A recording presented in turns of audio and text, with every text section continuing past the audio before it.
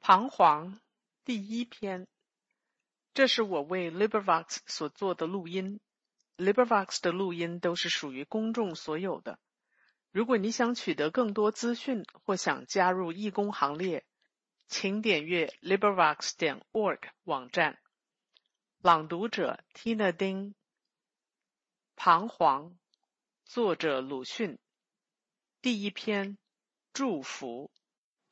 旧历的年底，毕竟最像年底。村镇上不必说，就在天空中也显出将到新年的气象来。灰白色的沉重的晚云中间，时时发出闪光，接着一声顿响，是送灶的爆竹。近处燃放的可就更强烈了。震耳的大音还没有熄，空气里已经散满了幽微的火药香。我是正在这一夜回到我的故乡鲁镇的，虽说故乡，然而已没有家，所以只得暂寓在鲁四老爷的宅子里。他是我的本家，比我长一辈，应该称之曰四叔，是一个讲理学的老监生。他比先前并没有什么大改变，但是老了些，但也还未留胡子。一见面是寒暄，寒暄之后说我胖了。说我胖了之后，即大骂其新党，但我知道这并非借题在骂我，因为他所骂的还是康有为。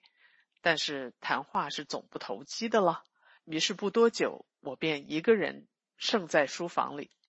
第二天我起得很迟，午饭之后出去看了几个本家和朋友。第三天也照样，他们也都没有什么大改变，但是老了些，家中却一律忙。都在准备祝福，这是鲁镇年终的大典，致敬敬礼，迎接福神，拜求来年一年中的好运气的。杀鸡宰鹅，买猪肉，用心细细的洗。女人的臂膊都在水里浸得通红，有的还带绞丝银镯子。煮熟之后，横七竖八的插些筷子在这类东西上，可就称为福礼了。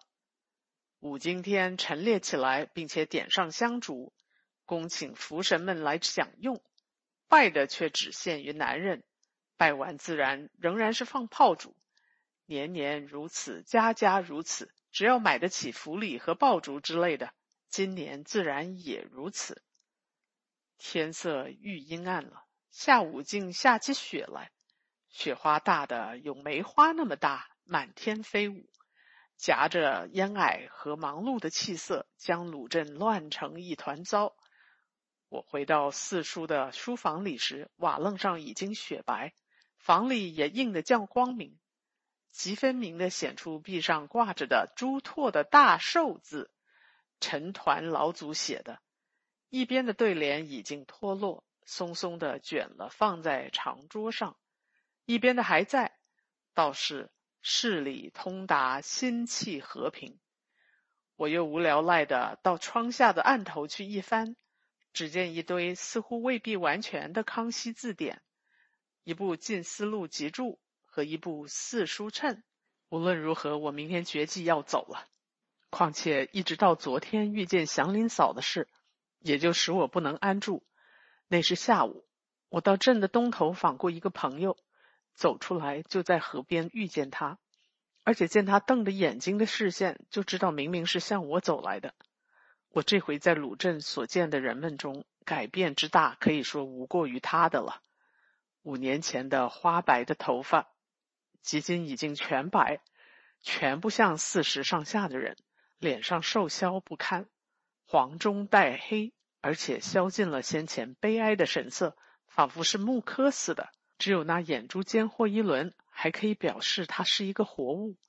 他一手提竹篮，内中一个破碗空的；一手支一支比他更长的竹竿，下端开了裂。他分明已经纯乎是一个乞丐了。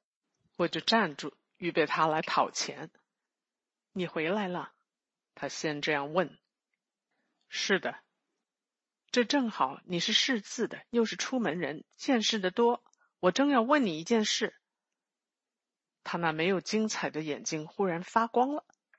我万料不到他却说出这样的话来，诧异的站着。就是，他走近两步，放低了声音，极秘密似的怯怯的说：“一个人死了之后，究竟有没有魂灵的？”我很悚然，一见他眼盯着我的背上，也就遭了芒刺一般，比在学校里遇到不及预防的临时考，教师又偏是站在身旁的时候，惶急的多了。对于魂灵的有无，我自己是向来毫不介意的，但在此刻。怎样回答他好呢？我在极短期的踌躇中想，这里的人照例相信鬼，然而他却疑惑了，或者不如说希望，希望其有，又希望其无。人何必增添陌路的人的苦恼？为他起见，不如说有吧，也许有吧。我想，我于是吞吞吐吐的说：“那么也就有地狱了。”啊，地狱！我很吃惊，只得支吾着。地狱论理就该也有，然而也未必。谁来管这等事？那么死掉的一家的人都能见面的？哎，见面不见面呐？这时我已知道自己也还是完全一个愚人，什么踌躇，什么计划都挡不住三句问。我即刻胆怯起来了。便想全翻过先前的话来，那是实在我说不清。其实究竟有没有魂灵，我也说不清。我趁他不再紧接的问，迈开步便走，匆匆的逃回四叔的家中，心里很觉得不安逸。自己想，我这答话怕与他有些危险。他大约因为在别人的祝福时候感到自身的寂寞了。然而，会不会还有别的什么意思的呢？或者是有了什么预感了？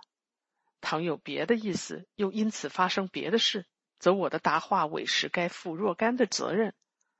但随后也就自笑，觉得偶尔的事本没有什么深意义，而我偏要细细推敲，正无怪教育家要说是生着神经病。而况明明说过说不清，已经推翻了答话的全局。即使发生什么事，与我也毫无关系了。说不清是一句极有用的话。不经事的勇敢的少年，往往敢于给人解决疑问、选定医生。万一结果不佳，大抵反成了怨妇。然而一用这说不清来做结束，便事事逍遥自在了。我在这时更感到这一句话的必要。即使和讨饭的女人说话。也是万不可省的，但是我总觉得不安。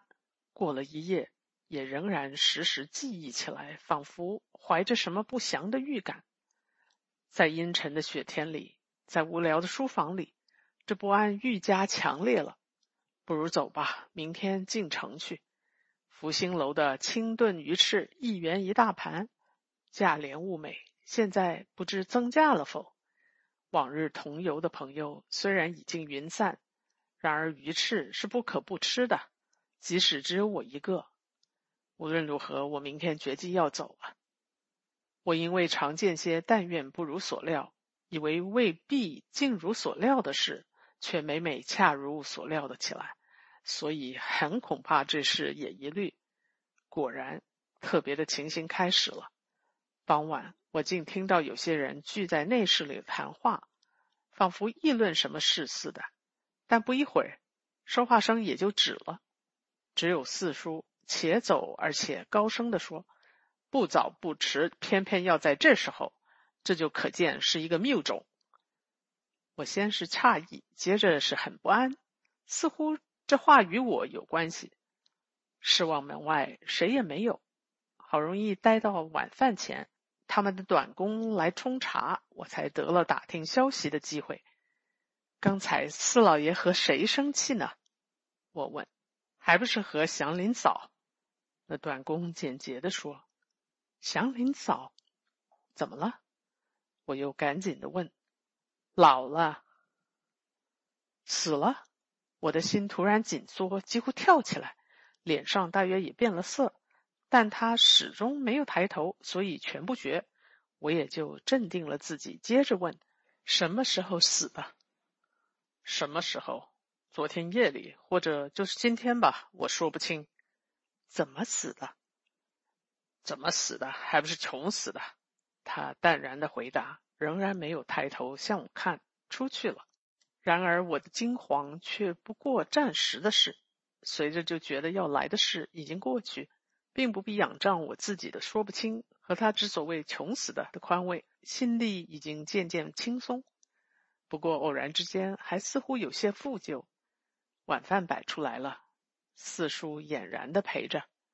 我也还想打听些关于祥林嫂的消息，但知道他虽然读过《鬼神者二气之良能也》，而忌讳仍然极多。当临近祝福时候，是万不可提起死亡、疾病之类的话的。倘不得已，就该用一种替代的言语。可惜我又不知道，因此屡次想问，而终于终止了。我从他俨然的脸色上。又忽而疑他正以为我不早不迟，偏要在这时候来打搅他，也是一个谬种，便立刻告诉他，明天要离开鲁镇进城去，趁早放宽了他的心。他也不很留，这样闷闷的吃完了一餐饭。冬季日短，又是雪天，夜色早已笼罩了全市镇，人们都在灯下匆忙，但窗外很寂静。雪花落在积得厚厚的雪褥上面，听去似乎瑟瑟有声，使人更加感得沉寂。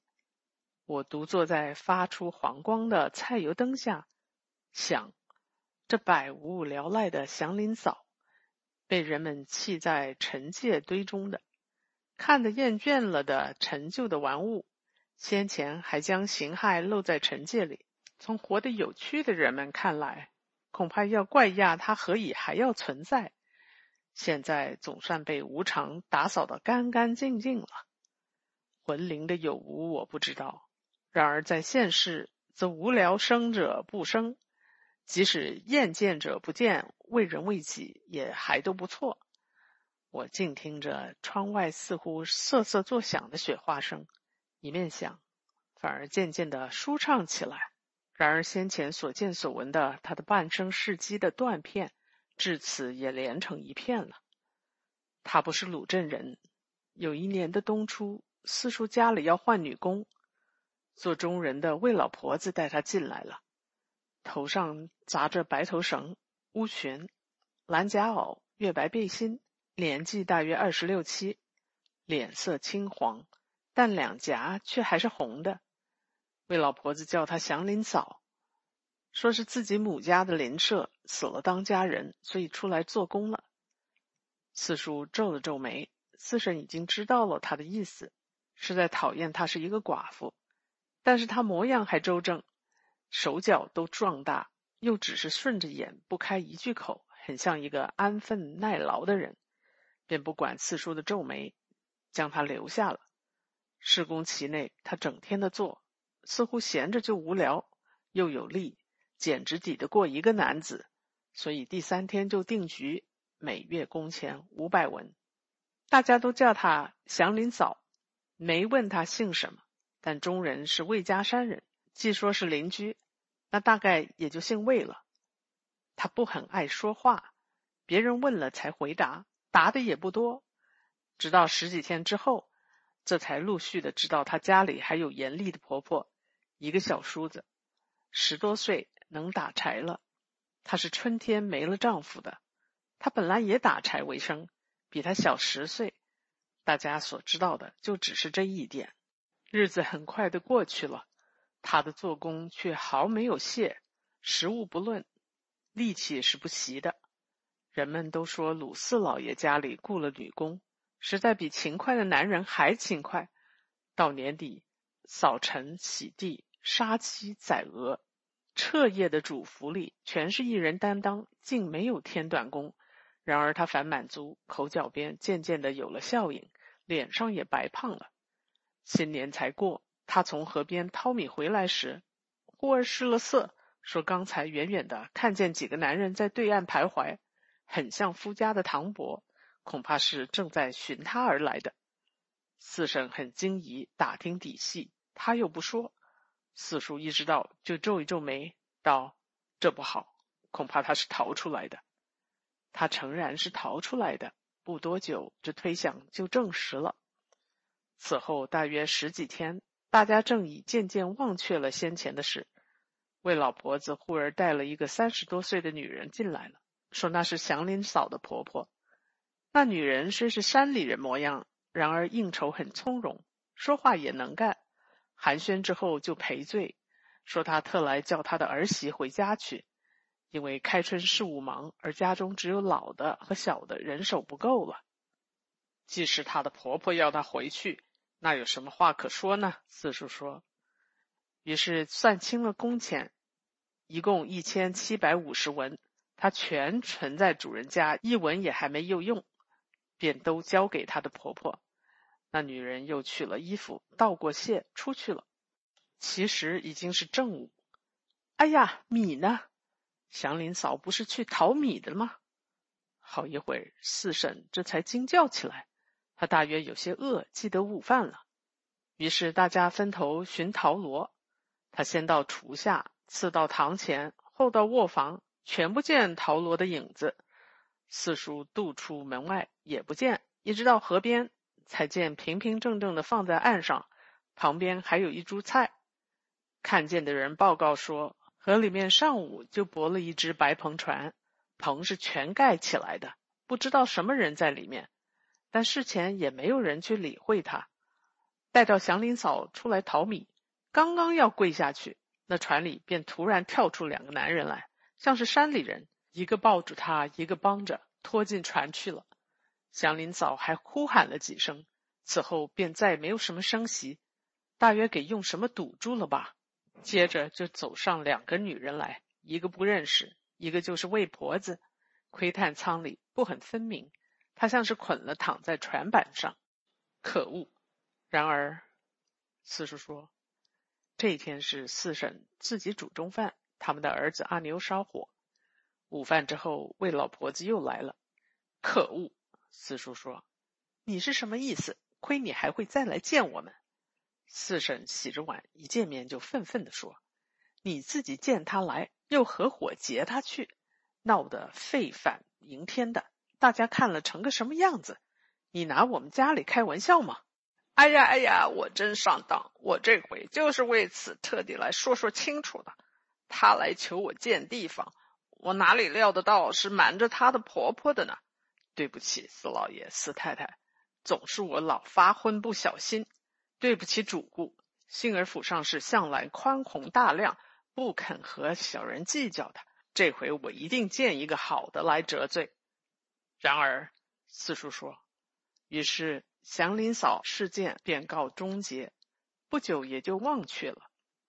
只有四婶，因为后来雇佣的女工大抵非懒即馋，或者馋而且懒，左右不如意，所以也还提起祥林嫂。每当这些时候，她往往自言自语的说：“她现在不知道怎么样了。”意思是希望她再来。但到第二年的新政，她也就绝了望。清正将近，魏老婆子来拜年了，已经喝得醉醺醺的。自说因为回了一趟魏家山的娘家，住下几天，所以来的迟了。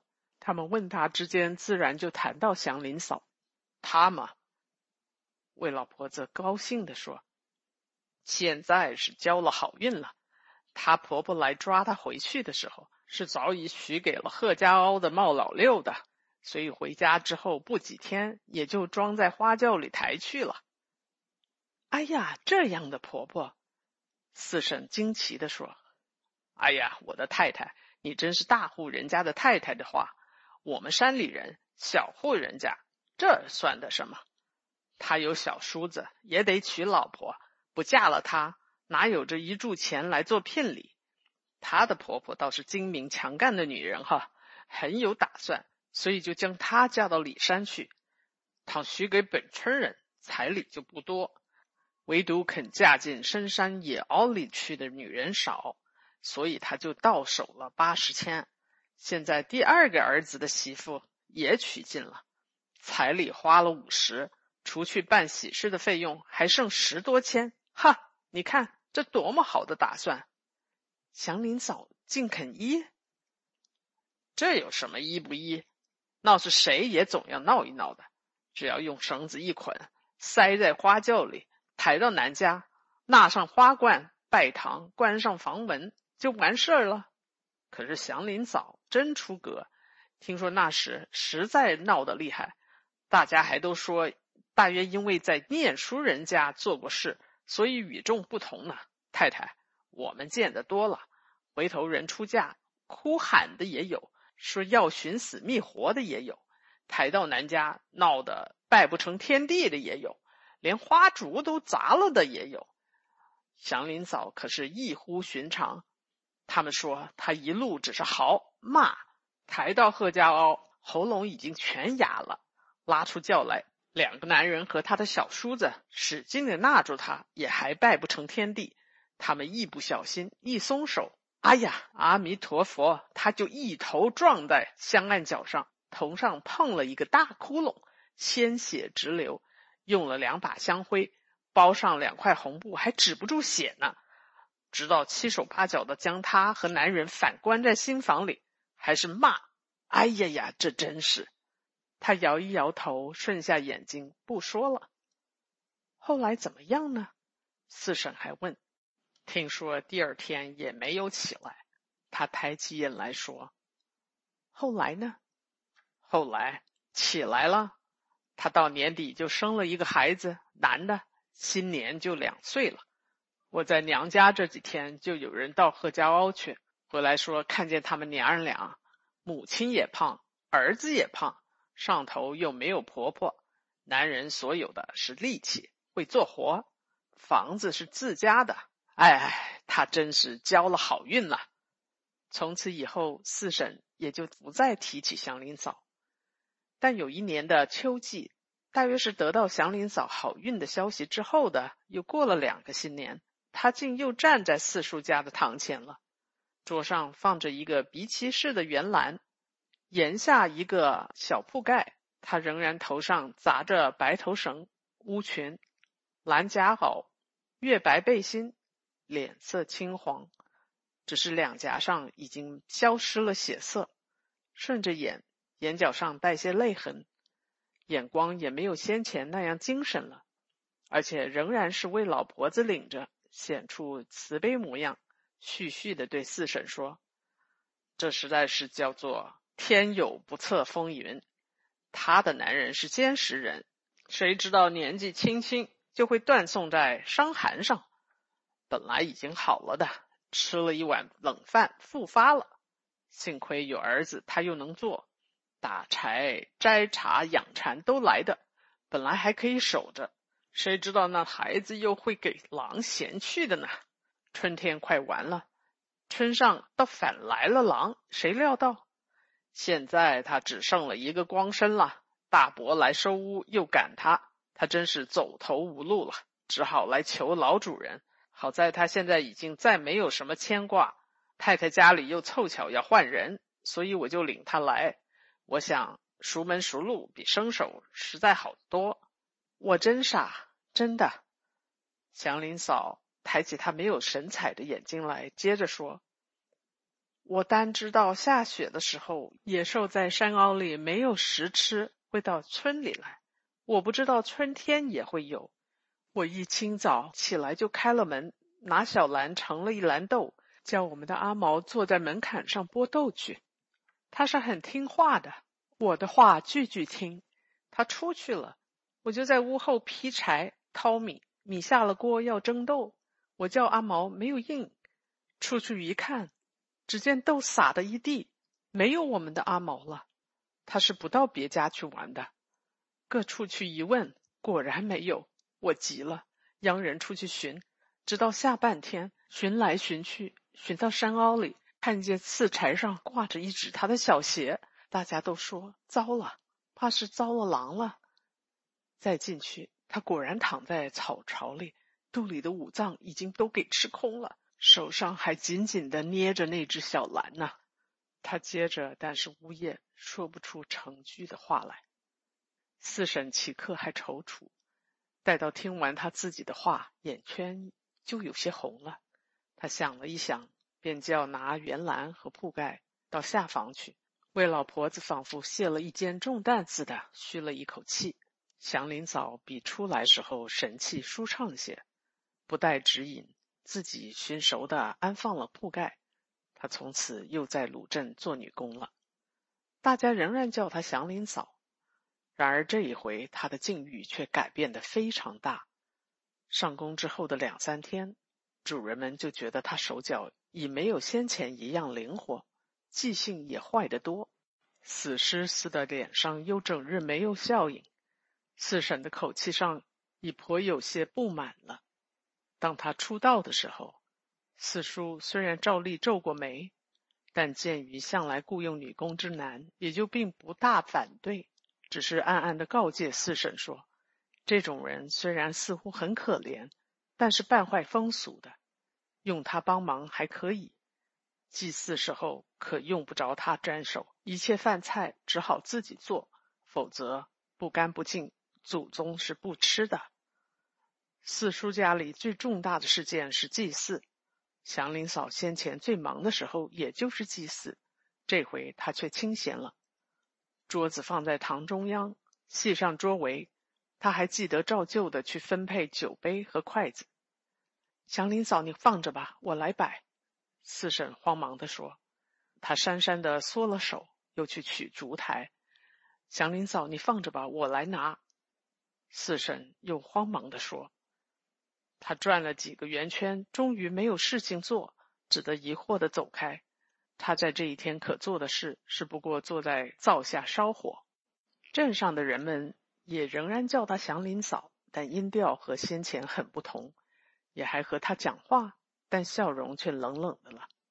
他全不理会那些事，只是直着眼睛和大家讲他自己日夜不忘的故事。”我真傻，真的。他说：“我单知道雪天是野兽在深山里没有食吃，会到村里来。我不知道春天也会有。我一大早起来就开了门，拿小篮盛了一篮豆，叫我们的阿毛坐在门槛上剥豆去。他是很听话的孩子，我的话句句听，他就出去了。我就在屋后劈柴、淘米，米下了锅，打算蒸豆。”我叫阿毛，没有应。出去一看，只见豆撒得满地，没有我们的阿毛了。各处去一问，都没有。我急了，央人去寻去。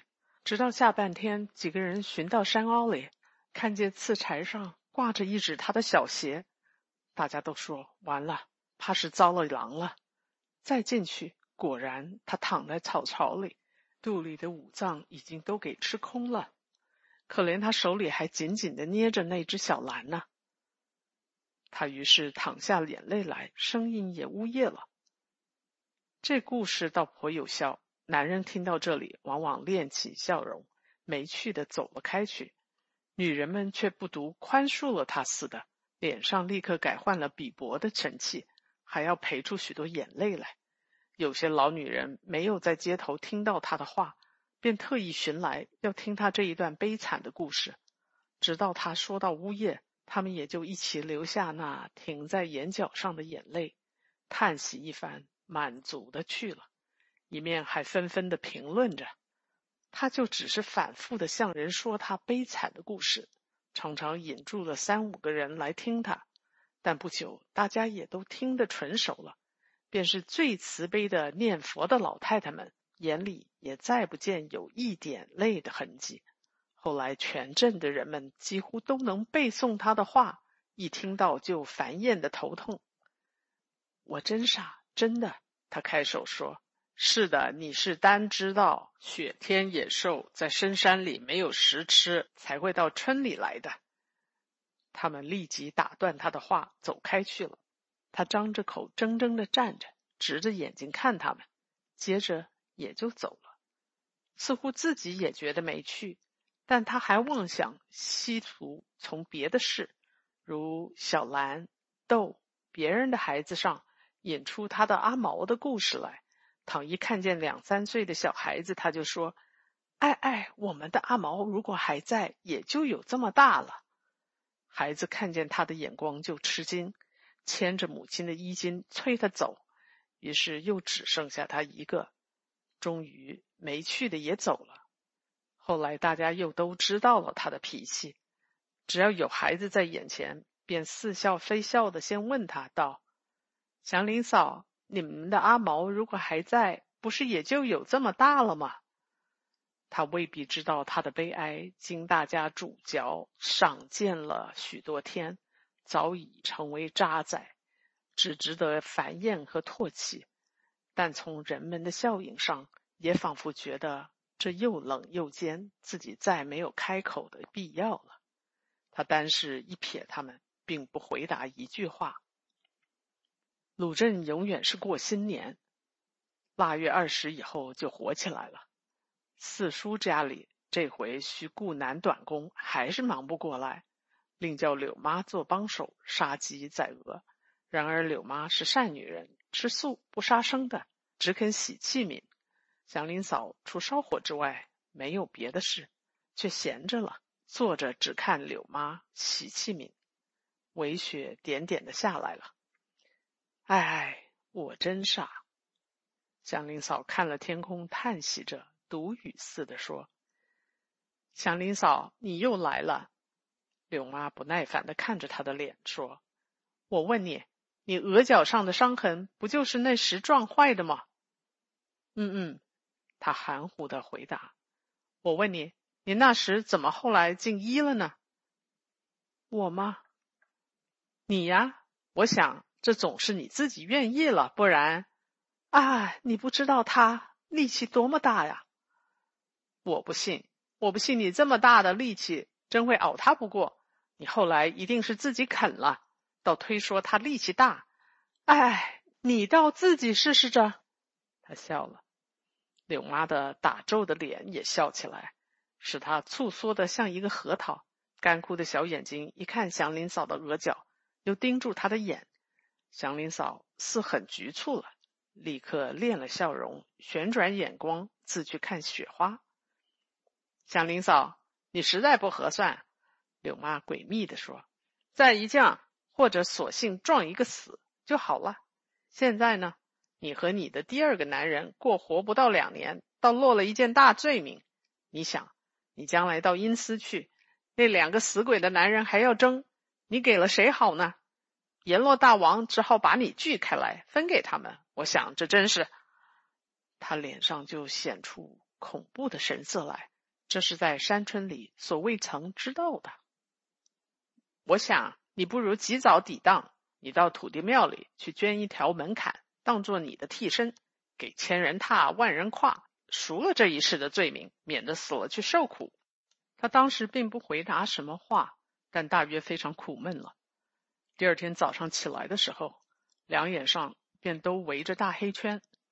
早饭之后，他便到镇的西头的土地庙里去求捐门槛。庙祝起初执意不允许，直到他急得流泪，才勉强答应了。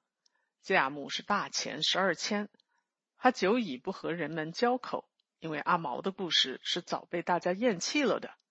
但自从和柳妈谈了天，似乎又急传扬开去，许多人都发生了新趣味，又来逗他说话了。至于题目，那自然是换了一个新样，专在他额上的伤疤。祥林嫂，我问你，你那时怎么竟肯了？一个说。唉，可惜白撞了这一下。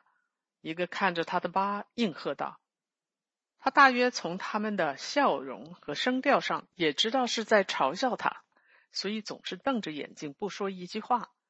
后来连头也不回了。他整日紧闭了嘴唇，头上带着大家以为耻辱的记号的那伤痕，默默的跑街、扫地、洗菜、淘米，快够一年。”他才从四婶手里支取了历来积存的工钱，换算了十二元阴阳，请假到镇的西头去。但不到一顿饭时候，他便回来，神气很舒畅，眼光也分外有神，高兴似的对四婶说：“自己已经在土地庙捐了门槛了。”冬至的祭祖时节，他做得更出力，看四婶装好祭品，和阿牛将桌子抬到堂屋中央。他便坦然的去拿酒杯和筷子，你放着吧，祥林嫂。四婶慌忙大声说：“他像是受了炮烙似的缩手，脸色同时变作灰黑，也不再去取烛台，只是失神的站着，直到四叔上香的时候叫他走开，他才走开。这一回他的变化非常大。第二天不但眼睛凹陷下去，连精神也更不济了，而且很胆怯，不独怕暗夜，怕黑影，即使看见人，虽是自己的主人，也总惴惴的，有如在白天出穴游行的小鼠；否则呆坐着，只是一个木偶人。不半年，头发也花白起来了，记性尤其坏，甚而至于常常忘却了去淘米。祥林嫂怎么这样了？倒不如那时不留他。四婶有时当面就这样说，似乎是警告他。然而他总如此，全不见有凌厉起来的希望。他们于是想打发他走了，叫他回到魏老婆子那里去。但当我还在鲁镇的时候，不过单是这样说。看现在的情状，可见后来终于实行了。然而他是从四叔家出去就成了乞丐的呢？还是先到魏老婆子家，然后再成乞丐的呢？那我可不知道。我给那些因为在近旁而极响的爆竹声惊醒，看见豆一般大的黄色的灯火光，接着又听得哔哔啵啵的鞭炮，是四叔家正在祝福了。直到已是五更将近时候，我在朦胧中又隐约听到远处的爆竹声连绵不断。似乎合成一天音响的浓云，夹着团团飞舞的雪花，拥抱了全市镇。我在这反响的拥抱中也懒散而且舒适，从白天以至初夜的疑虑，全给祝福的空气一扫而空了。只觉得天地圣众心想了生礼和香烟，都醉醺醺的在空中蹒跚。预备给鲁镇的人们以无限的幸福。第一篇结束。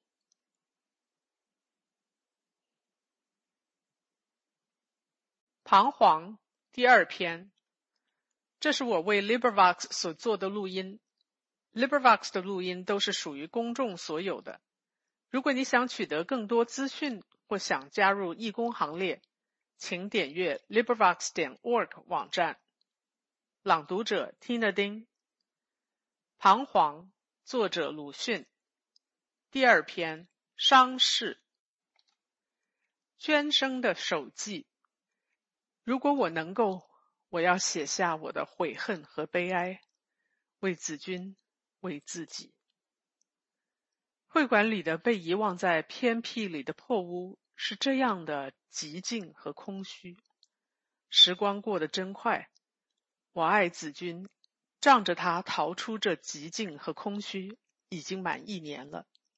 事情又这么不凑巧，我重来时，偏偏空着的又只有这一间屋，依然是这样的破窗，这样的窗外的半枯的槐树和老紫藤，这样的窗前的方桌，这样的败壁，这样的靠壁的板床。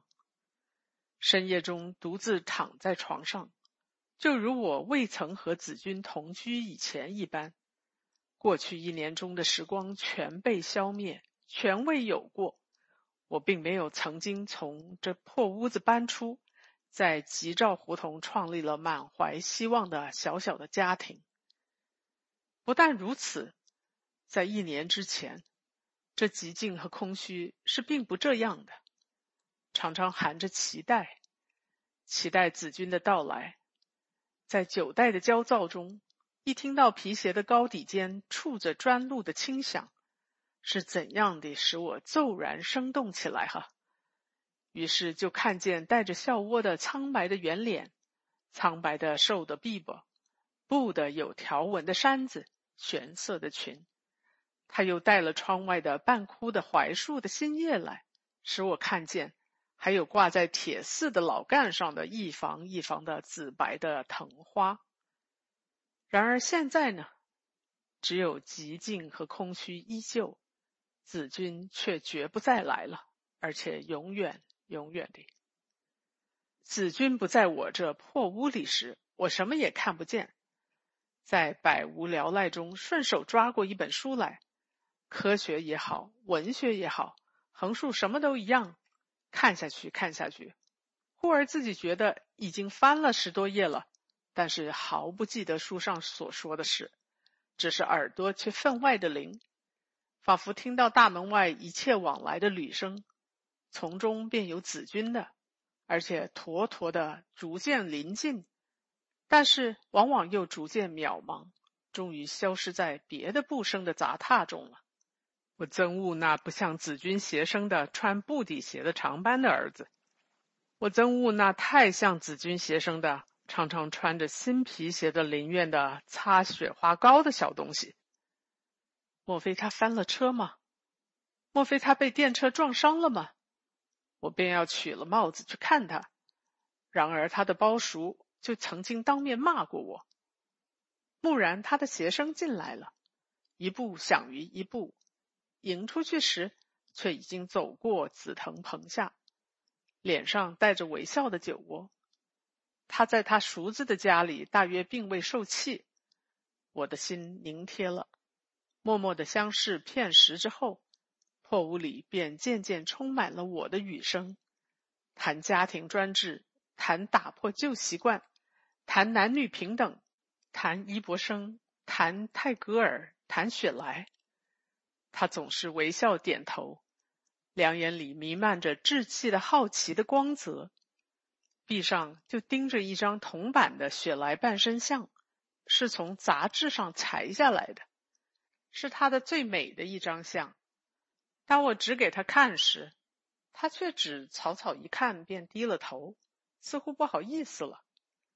这些地方，子君就大概还未脱尽旧思想的束缚。我后来也想，倒不如换一张雪莱淹死在海里的纪念像，或是伊博生的吧。但也终于没有换。现在是连这一张也不知哪里去了。我是我自己的，他们谁也没有干涉我的权利。这是我们交际了半年，又谈起他在这里的包叔和在家的父亲时，他默想了一会之后，分明的。坚决的、沉静的说了出来的话，其实是我已经说尽了我的意见、我的身世、我的缺点，很少隐瞒，他也完全了解的了。这几句话很震动了我的灵魂，此后许多天还在耳中发响，而且说不出的狂喜，知道中国女性并不如燕世家所说那样的无法可施。在不远的将来，便要看见辉煌的树色的。送他出门，照例是相离十多不远。照例是那年逾虚的老东西的脸，又紧贴在脏的窗玻璃上了，连鼻尖都挤成一个小平面。到外院，照例又是明晃晃的玻璃窗里的那个小东西的脸，加厚的雪花膏。他目不斜视的、骄傲的走了，没有看见我骄傲的回来。我是我自己的，他们谁也没有干涉我的权利。这彻底的思想就在他脑里，比我还透彻、坚强的多。半瓶雪花膏和鼻尖的小平面，与他能算什么东西呢？我已经记不清那时怎样的将我的纯真热烈的爱表示给他。岂但现在，那时的事后便已模糊。夜间回想，早只剩了一些断片了。同居以后一两月，便连这些断片也化作无可追踪的梦影。我只记得那时以前的十几天，曾经很仔细的研究过表示的态度，排列过措辞的先后，以及倘或遭了拒绝以后的情形。可是临时似乎都无用，在慌张中，身不由己的竟用了在电影上见过的方法了。后来一想到，就使我很愧疚，但在记忆上却偏只有这一点永远留遗，至今还如暗室的孤灯一般，照见我含泪握着他的手，一条腿跪了下去。不但我自己的，便是子君的言语举动。我那时就没有看得分明，仅知道他已经允许我了。但也还仿佛记得他脸色变成青白，后来又渐渐转作绯红，没有见过，也没有再见的绯红。孩子似的眼里射出悲喜，但是夹着惊疑的光。虽然力避我的视线，张皇的似乎要破窗飞去。然而我知道他已经允许我了，没有知道他怎样说，或是没有说。他却是什么都记得，我的言辞，竟至于读熟了的一般，能够滔滔背诵。我的举动，就如有一张我所看不见的影片挂在眼下，叙述的如声，很细微，自然。连那使我不愿再想的浅薄的电影的一闪，夜阑人静，是相对温习的时候了。我尝试被质问、被考验，并且被命复述当时的言语，然而常需由他补足，由他纠正，像一个丁等的学生。这温习后来也渐渐稀疏起来，但我只要看见他两眼注视空中。出神似的冥想着，于是神色越加柔和，笑窝也深下去，便知道他又在自修旧课了。只是我很怕他看到我那可笑的电影的一闪，但我又知道他一定要看见，而且也非看不可的。然而他并不觉得可笑，即使我自己以为可笑，甚而至于可比的。他也毫不以为可笑，这事我知道的很清楚，因为他爱我是这样的热烈，这样的纯真。去年的暮春是最为幸福，也是最为忙碌的时光，我的心平静下去了，但又有别一部分和身体一同忙碌起来。我们这时才在路上同行，也到过几回公园，最多的是寻住所。我觉得在路上时时遇到探索、讥笑、猥亵和轻蔑的眼光，一不小心便使我的全身有些瑟缩，只得即刻提起我的骄傲和反抗来支持。他却是大无畏的，对于这些全不关心，只是镇静的缓缓前行，坦然如入无人之境。寻住所实在不是容易事。大半是被托辞拒绝，小半是我们以为不相宜。起先我们选择的很苛酷，也非苛酷，因为看去大抵不像是我们的安身之所。后来便只要他们能相容了，看了二十多处，这才得到可以暂且敷衍的处所，是吉兆胡同一所小屋里的两间南屋，主人是一个小官。然而倒是明白人，自住着正屋和厢房。他只有夫人和一个不到周岁的女孩子，雇一个乡下的女工。只要孩子不啼哭，是极其安闲幽静的。我们的家具很简单，但已经用去了我的筹来的款子的大半。子君还卖掉了他唯一的金戒指和耳环。我拦阻他，还是定要卖。我也就不再坚持下去了。我知道不给他加入一点股份去，他是住不舒服的。和他的叔子，他早经闹开。至于使他气愤到不再认他做侄女，我也陆续和几个自以为忠固，其实是替我胆怯或者竟是嫉妒的朋友绝了交。然而这倒也清静。每日办公散后，虽然已近黄昏，车夫又一定走得这样慢。但究竟还有二人相对的时候，我们先是沉默的相视，接着是放怀而亲密的交谈，后来又是沉默，大家低头沉思着，却并未想着什么事。我也渐渐清醒的读遍了他的身体，他的灵魂。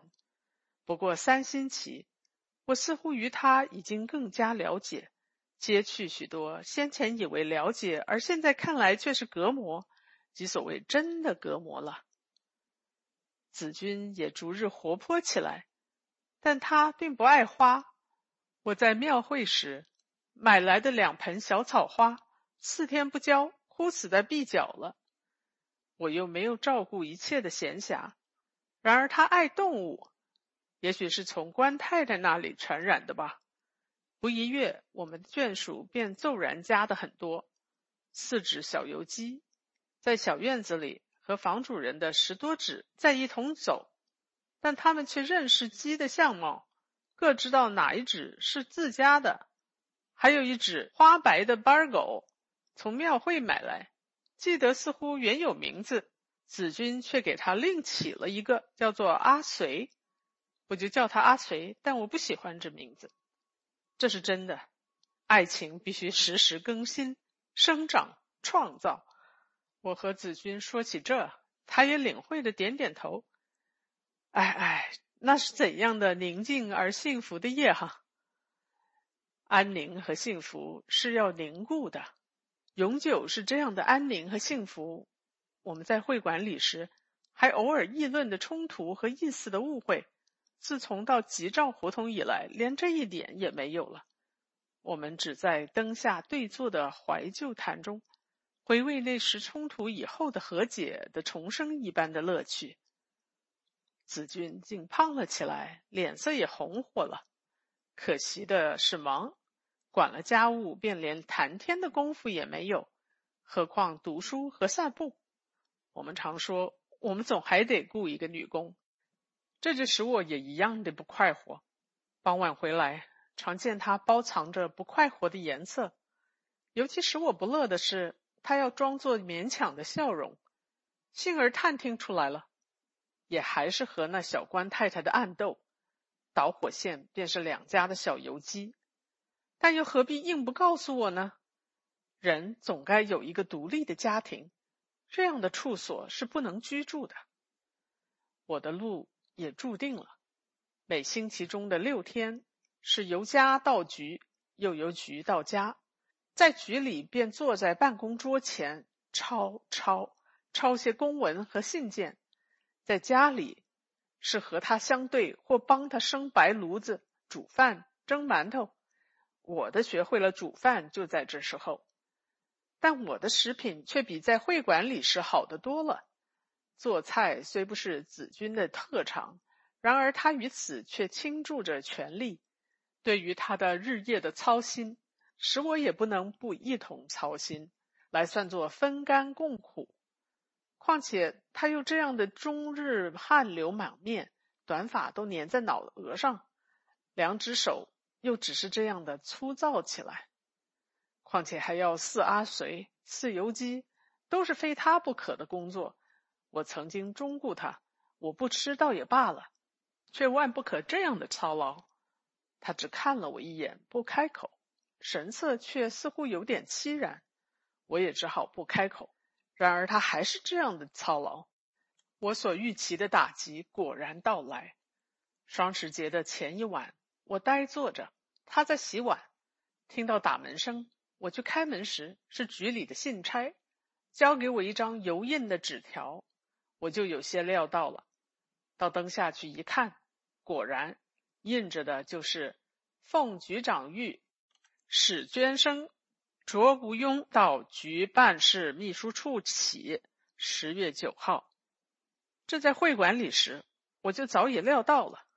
那雪花膏便是局长的儿子的独有，一定要去添些谣言，设法报告的。到现在才发生效验，已经要算是很晚的了。其实这在我不能算是一个打击，因为我早就决定可以给别人去抄写或者校读。或者虽然费力，也还可以一点书。况且自由之友的总编辑便是见过几次的熟人，两月前还通过信，但我的心却跳跃着。那么一个无畏的子君也变了色，尤其使我痛心。他近来似乎也较为怯弱了。那算什么？哼，我们干新的，我们。他说，他的话没有说完，不知怎的。那声音在我听去却只是浮浮的，灯光也觉得格外暗淡。人们真是可笑的动物，一点极微末的小事情，便会受着很深的影响。我们先是默默的相视，逐渐商量起来，终于决定将现有的钱竭力节省，一面登小广告去寻求抄写和校读，一面写信给自由之友的总编辑，说明我目下的遭遇，请他收用我的译本，给我帮一点艰辛时候的忙。说做就做吧，来开一条新的路。我立刻转身向了书案，推开盛香油的瓶子和醋碟，子君便送过那暗淡的灯来。我先拟广告，其次是选定可译的书，迁移以来未曾翻阅过，每本的头上都满漫着灰尘了，最后才写信。我很费踌躇，不知道怎样措辞好。当停笔凝思的时候，转眼去一瞥他的脸。在昏暗的灯光下，又很显得凄然。我真不料这样维系的小事情，竟会给坚决的、无畏的子君以这么显著的变化。他近来实在变得很怯弱了，但也并不是今夜才开始的。我的心因此更缭乱。忽然有安宁的生活的影像，会馆里的破屋的寂静在眼前一闪。刚刚想定睛凝视，却又看见了昏暗的灯光。许久之后，信也写成了，是一封颇长的信，很觉得疲劳，仿佛近来自己也较为怯弱了。于是我们决定，广告和发信就在明日一同实行。大家不约而同地伸直了腰肢，在无言中。似乎又都感到彼此的坚韧倔强的精神，还看见重新萌芽起来的将来的希望。外来的打击其实倒是振作了我们的新精神。局里的生活原如鸟贩子手里的禽鸟一般，仅有一点小米维系产生，绝不会肥胖。日子一久，只落得麻皮了翅子，即使放笼外，早已不能奋飞。现在总算脱出这牢笼了，我从此要在新的开阔的天空中翱翔。趁我还未忘却了我的赤子的扇动，小广告是一时自然不会发生效力的，但译书也不是容易事。先前看过，以为已经懂得的，一动手却疑难百出了，进行的很慢。然而我决计努力的做。一本半新的字典，不到半月，边上便有了一大片乌黑的指痕，这就证明着我的工作的切实。自由之友的总编辑曾经说过，他的刊物是绝不会埋没好稿子的。可惜的是，我没有一间静室，子君又没有先前那么幽静，善于体贴了。房子里总是散乱着碗碟，弥漫着煤烟，使人不能安心做事。但是，这自然还只能怨我自己无力置一间书斋。然而，又加以阿随，加以游击们，加以游击们又大起来了，更容易成为两家争吵的引线。加以每日的川流不息的吃饭，子君的功业仿佛就完全建立在这吃饭中。吃了筹钱，筹来吃饭，还要为阿随饲游击。他似乎将先前所知道的全都忘掉了，也不想到我的构思就常常为了这催促吃饭而打断。即使在座中给看一点怒色，他总是不改变，仍然毫无感触似的大嚼起来，使他明白了我的做工不能受规定的吃饭的束缚，就废去五星期。他明白之后，大约很不高兴吧，可是没有说。我的工作果然从此较为迅速的进行，不久就共译了五万言，只要润色一回，便可以和做好的两篇小品一同寄给自由之友去。只是吃饭却依然给我苦恼，菜冷是无妨的，然而竟不够，有时连饭也不够。虽然我因为终日坐在家里用脑，饭量已经比先前要减少的多，这是先去喂了阿随了。有时还并那近来连自己也轻易不吃的羊肉。他说：“阿随实在瘦得太可怜，房东太太还因此嗤笑我们了。他受不住这样的奚落。于是吃我残饭的便只有游击们，这是我积久才看出来的。但同时也如赫胥黎的认定人类在宇宙间的位置一般，自觉了我在这里的位置不过是 Bargo 和游击之间。后来经多次的抗争和催逼，游击们也逐渐成为摇转。我们和阿随都享用了十多日的鲜肥，可是其实都很瘦。因为他们早已每日只能得到几粒高粱了，从此便清静的多。只有子君很颓唐，似乎常觉得凄苦和无聊，至于不大愿意开口。我想人是多么容易改变哈！但是阿随也将留不住了。我们已经不能再希望从什么地方会有来信。子君也早没有一点食物可以引他打拱或直立起来，冬季又逼近的这么快，火炉就要成为很大的问题。他的食量在我们其实早是一个极易觉得的很重的负担，于是连他也留不住了。倘使插了草标到庙市去出卖，也许能得几文钱吧。然而我们都不能，也不愿这样做。终于是用包袱蒙着头，由我带到西郊去放掉了。还要追上来，便推在一个并不很深的土坑里。我一回忆，觉得又清静的多多了。但子君的凄惨的神色，却使我很吃惊。那是没有见过的神色，自然是为阿随，但又何至于此呢？我还没有说起推在土坑里的事。到夜间。在他的凄惨的神色中，加上冰冷的份子了。奇怪，子君，你怎么今天这样了？我忍不住问。什么？他连看也不看我。你的脸色？没有什么，什么也没有。我终于从他言动上看出，他大概已经认定我是一个忍心的人。其实我一个人是容易生活的。虽然因为骄傲，向来不与世交来往，迁居以后也疏远了所有旧事的人。然而，只要能远走高飞，生路还宽广的很。现在忍受着这生活压迫的苦痛，大半倒是为他。便是放掉阿随，也何尝不如此？但子君的事件却似乎只是浅薄起来，竟至于连这一点也想不到了。我捡了一个机会，将这些道理暗示他。他领会似的点头。然而看他后来的情形，他是没有懂，或者是并不相信的。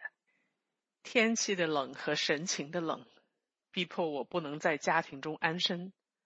但是往哪里去呢？大道上、公园里，虽然没有冰冷的神情，冷风究竟也刺得人皮肤欲裂。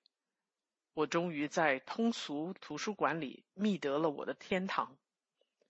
那里无需买票，阅书室里又装着两个铁火炉，纵使不过是烧着不死不活的煤的火炉，但单是看见装着它，精神上也就总觉得有些温暖。书却无可看，旧的陈腐，新的是几乎没有的。好在我到那里去，也并非为看书。另外，时常还有几个人，多则十余人，都是单薄衣裳。正如我，个人看个人的书，作为取暖的口实，这与我尤为合适。道路上容易遇见熟人，得到轻蔑的一瞥，但此地却绝无那样的横祸，因为他们是永远围在别的铁路旁，或者靠在自家的白炉边的。那里虽然没有书给我看。却还有安闲容得我想，待到孤身枯坐，回忆从前，这才觉得大半年来只为了爱，盲目的爱，而将别的人生的要义全盘疏忽了。第一便是生活，人必生活着，爱才有所复利。世界上并非没有为了奋斗者而开的活路，我也还未忘却赤子的煽动。虽然比先前已经颓唐的多，屋子和读者渐渐消失了。我看见怒涛中的渔夫，战壕中的兵士，摩托车中的贵人，羊场上的投机家，深山密林中的豪杰，讲台上的教授，昏夜的运动者和深夜的偷儿。子君不在近旁，他的勇气都失掉了，只为着阿随悲愤，为着做饭出神。然而奇怪的是，倒也并不怎样受损，冷了起来。火炉里的不死不活的几片硬煤也终于烧尽了，也是闭馆的时候，又需回到吉兆胡同，领略冰冷的颜色去了。近来也间或遇到温暖的神情，但这却反而增加我的苦痛。记得有一夜。子君的眼里忽而又发出久已不见的稚气的光来，笑着和我谈到还在会馆时候的情形，时时又很带些恐怖的神色。我知道我进来的超过他的冷漠，已经引起他的忧疑来，只得也勉力谈笑，想给他一点慰藉。然而我的笑貌一上脸，我的话一出口，却即刻变为空虚。这空虚又即刻发生反响，回向我的耳目里，给我一个难堪的恶毒的冷嘲。子君似乎也觉得的，从此便失掉了他往常的麻木似的镇静。虽然竭力掩饰，总还是时时露出忧疑的神色来，但对我却温和的多了。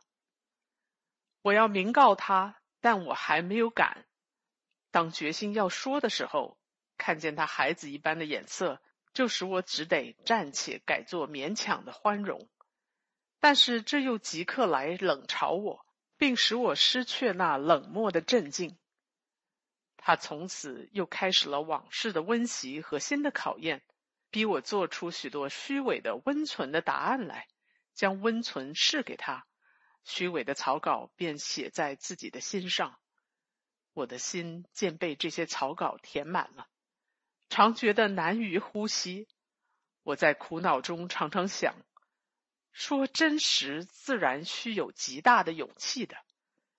假如没有这勇气，而苟安于虚伪，那也便是不能开辟新的生路的人。不读不是这个，连这人也未尝有。子君有怨色，在早晨极冷的早晨，这是从未见过的。但也许是从我看来的怨色，我那时冷冷的气愤和暗笑了。他所磨练的思想和豁达无畏的言论，到底也还是一个空虚，而对于这空虚却并未自觉。他早已什么书也不看，已不知道人的生活的第一着是求生，向着这求生的道路，是必须携手同行或奋身孤往的了。唐使只知道锤着一个人的衣角，那便是虽战士也难于战斗，只得一同灭亡。我觉得新的希望就只在我们的分离，他应该决然舍去。我也突然想到他的死，然而立刻自责忏悔了。幸而是早晨，时间正多，我可以说我的真实。我们的新的道路的开辟，便在这一招。我和他闲谈，故意地引起我们的往事，提到文艺，于是涉及外国的文人，文人的作品，诺拉，《海的女人》，称扬诺拉的果决，也还是去年在会馆的破屋里讲过的那些话，但现在已经变成空虚，从我的嘴传入自己的耳中，时时疑心有一个隐形的坏孩子，在背后恶意的。刻毒的小舌，他还是点头答应着倾听。后来沉默了，我也就断续的说完了我的话，连余音都消失在虚空中了。是的，他又沉默了一会儿，说：“但是娟生，我觉得你近来很两样了。可是的，你你老实告诉我，我觉得。”这似乎给了我当头一击，但也立即定了神，说出我的意见和主张来。新的路的开辟，新的生活的再造，为的是免得一同灭亡。林默，我用了十分的决心，加上这几句话。况且你已经可以无需顾虑，勇往直前了。你要我老实说，是的，人是不该虚伪的。我老实说吧，因为，因为我已经不爱你了。但这与你倒好得多，因为你更可以毫无挂念的做事。我同时预期着大的变故的到来，然而只有沉默。他脸色陡然变成灰黄，死了似的，瞬间便又苏生，眼里也发了稚气的闪闪的光泽。这眼光射向四处，正如孩子在饥渴中寻求着慈爱的母亲，但只在空中寻求，恐怖的回避着我的眼。我不能看下去了。幸而是早晨，我冒着寒风径奔通俗图书馆，在那里看见自由之友，我的小品文都登出了，这使我一惊，仿佛得了一点生气。我想，生活的路还很多，但是现在这样也还是不行的。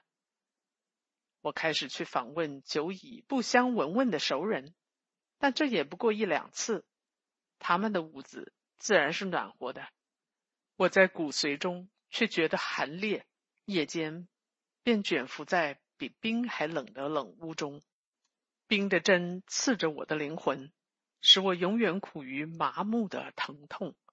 生活的路还很多，我也还没有忘却赤子的善动。我想，我突然想到他的死，然而立刻自责忏悔了。在通俗图书馆里，往往瞥见一闪的光明。新的生路横在前面，他勇猛的觉悟了，毅然走出这冰冷的家，而且毫无怨恨的神色。我便轻如行云，漂浮空寂，上有蔚蓝的天，下是深深大海，广厦高楼，战场、摩托车、洋场、公馆，晴明的闹市，黑暗的夜，而且真的。我预感的这新生面便要来到了。我们总算度过了极难忍受的冬天。这北京的冬天就如蜻蜓落在恶作剧的坏孩子的手里一般，被系着细线，尽情玩弄虐待。虽然幸而没有送掉性命，结果也还是躺在地上，只争着一个迟早之间。写给自由之友的总编辑已经有三封信。这才得到回信，信封里只有两张书卷，两角的和三角的。我却单是催就用了九分的邮票，一天的饥饿又都白挨给与己一无所得的空虚了。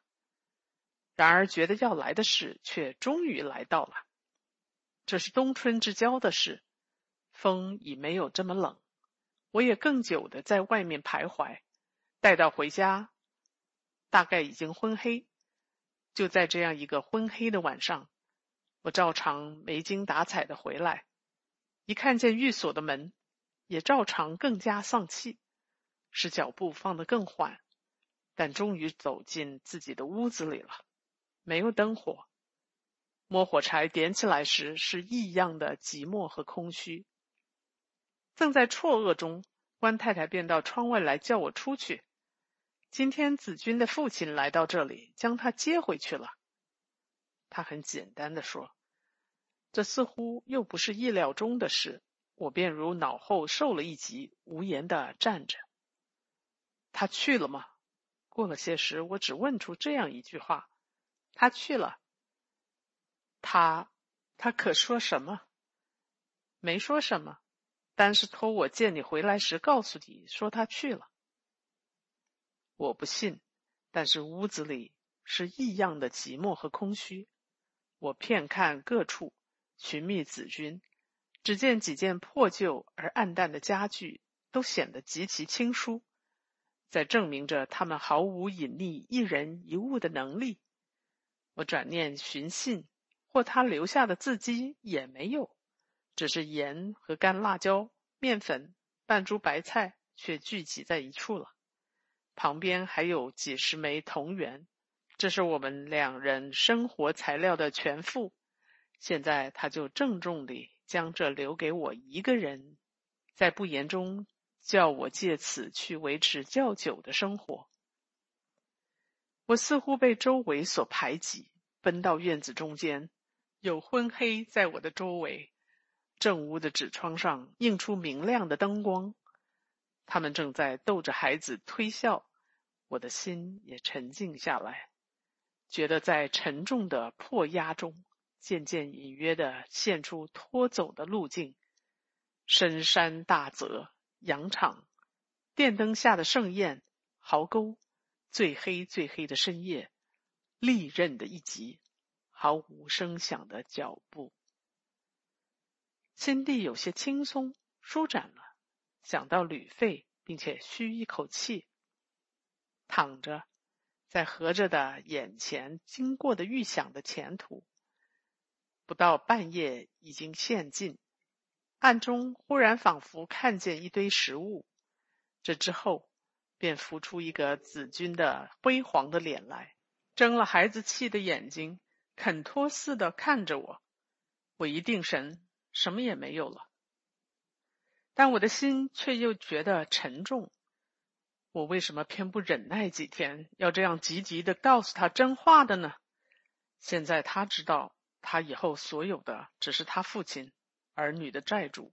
的烈日一般的严威和旁人的赛过冰霜的冷眼，此外便是虚空，负着虚空的重担，在严威和冷眼中走着所谓人生的路，这是怎么可怕的事哈？而况这路的尽头，又不过是连墓碑也没有的坟墓。我不应该将真实说给子君，我们相爱过，我应该永久奉献他我的说谎。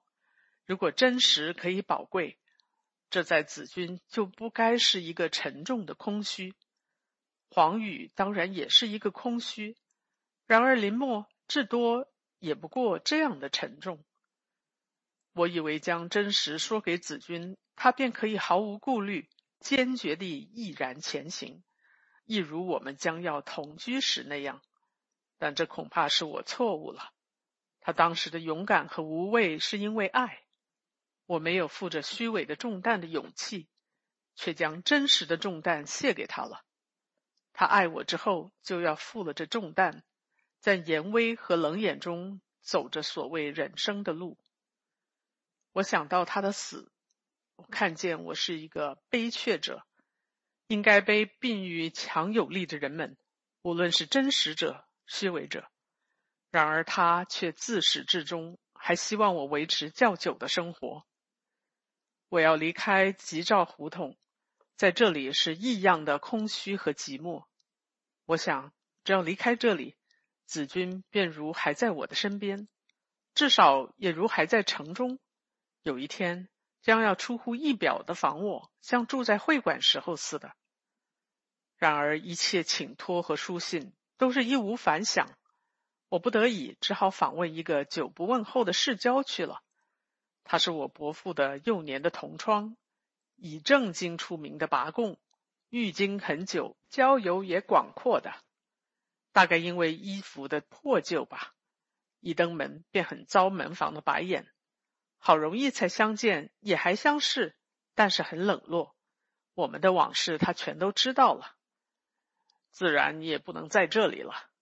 他听了我托他在别处密室之后，冷冷地说。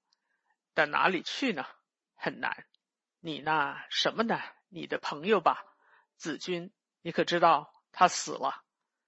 我惊得没有话。真的？我终于不自觉的问。哈哈，自然真的。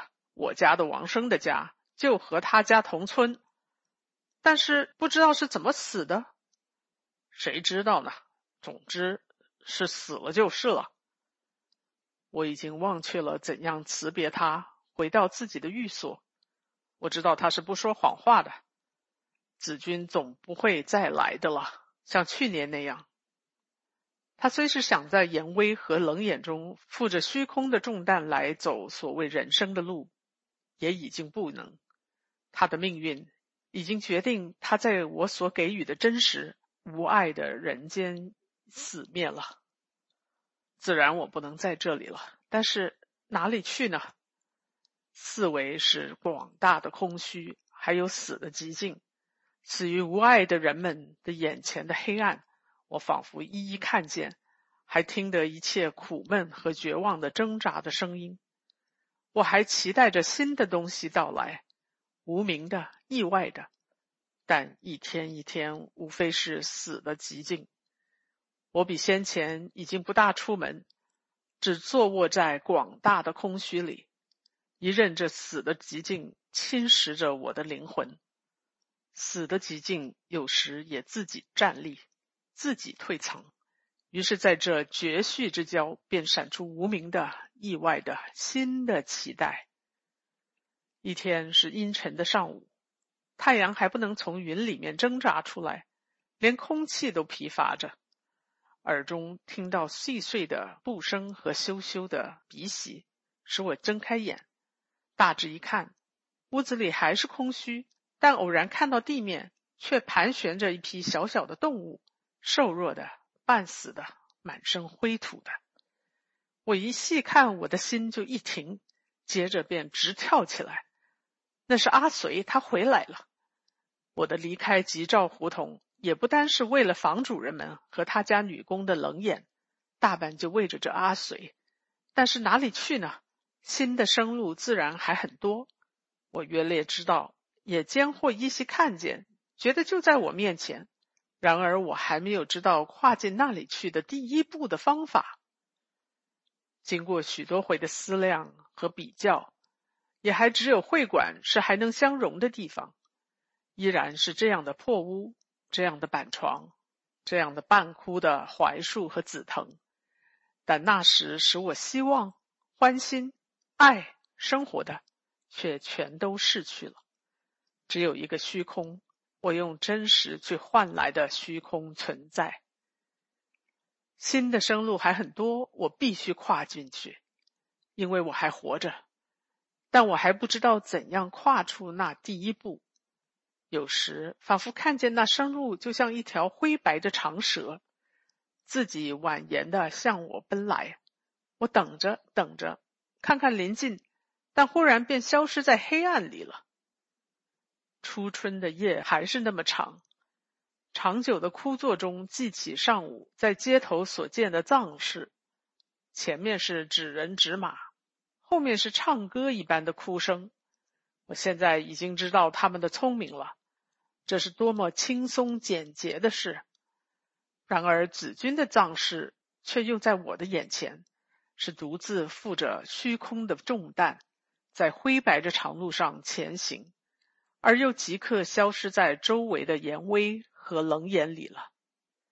我愿意真有所谓鬼魂，真有所谓地狱，那么即使在聂风怒吼之中，我也将寻觅子君，当面说出我的悔恨和悲哀，祈求他的饶恕。否则，地狱的毒焰将围绕我，猛烈着烧尽我的悔恨和悲哀。我将在聂风和毒焰中拥抱子君，弃他宽容，或者使他快意。但是这却更虚空于心的生路。现在所有的只是初春的夜，竟还是那么长。我活着，我总得向着新的生路跨出去。那第一步，却不过是写下我的悔恨和悲哀，为子君，为自己。我仍然只有唱歌一般的哭声，给子君送葬，葬在遗忘中。我要遗忘，我为自己，并且要不再想到这用了遗忘给子君送葬。我要向新的生路跨进第一步去。我要将真实深深的藏在新的创伤中，默默地前行，用遗忘和说谎。做我的前导。第二篇结束。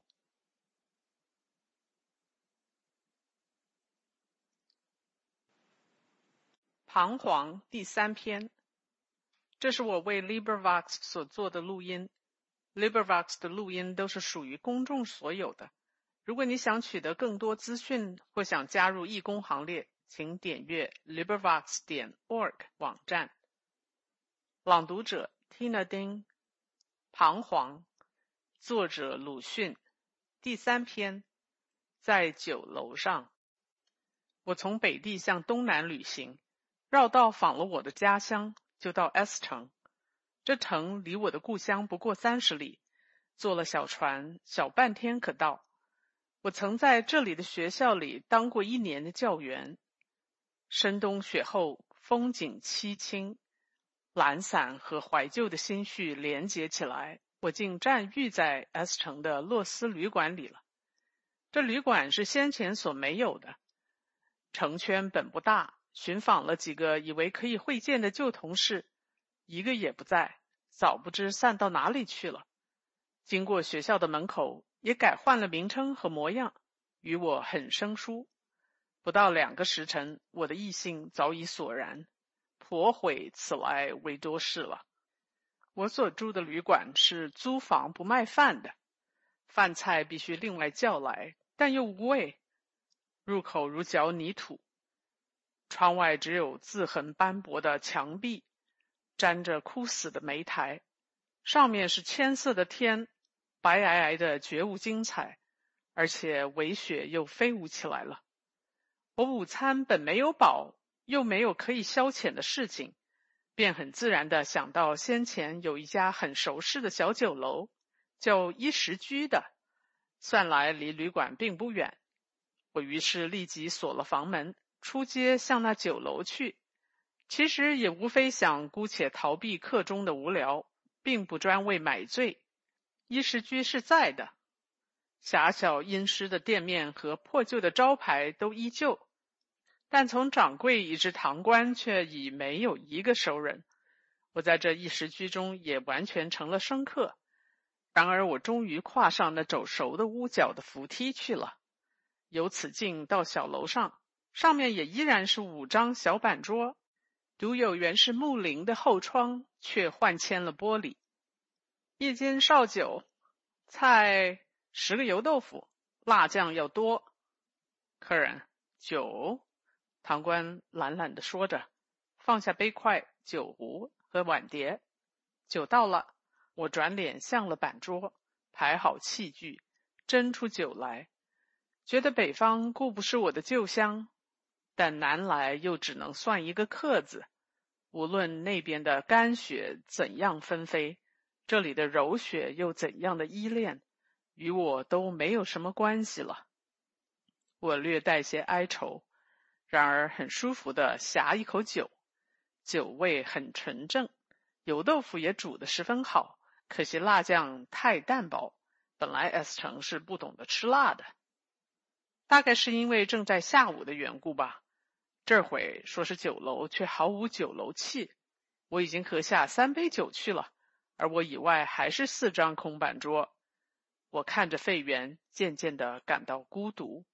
但又不愿有别的酒客上来，偶然听得楼梯上脚步响，便不由得有些懊恼。待到看见是堂官，才又安心了。这样的又喝了两杯酒，我想这回定是酒客了，因为听的那脚步声比堂官的要缓得多。约略料他走完了楼梯的时候，我便害怕似的抬头去看着无干的同伴。同时，也就吃惊的站起来。我竟不料在这里意外的遇见朋友了。假如他现在还许我称他为朋友，那上来的分明是我的旧同窗，也是做教员时代的旧同事。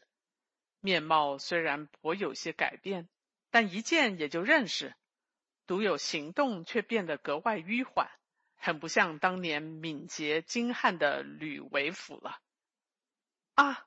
为辅是你吗？我万想不到会在这里遇见你。啊啊，是你！我也万想不到。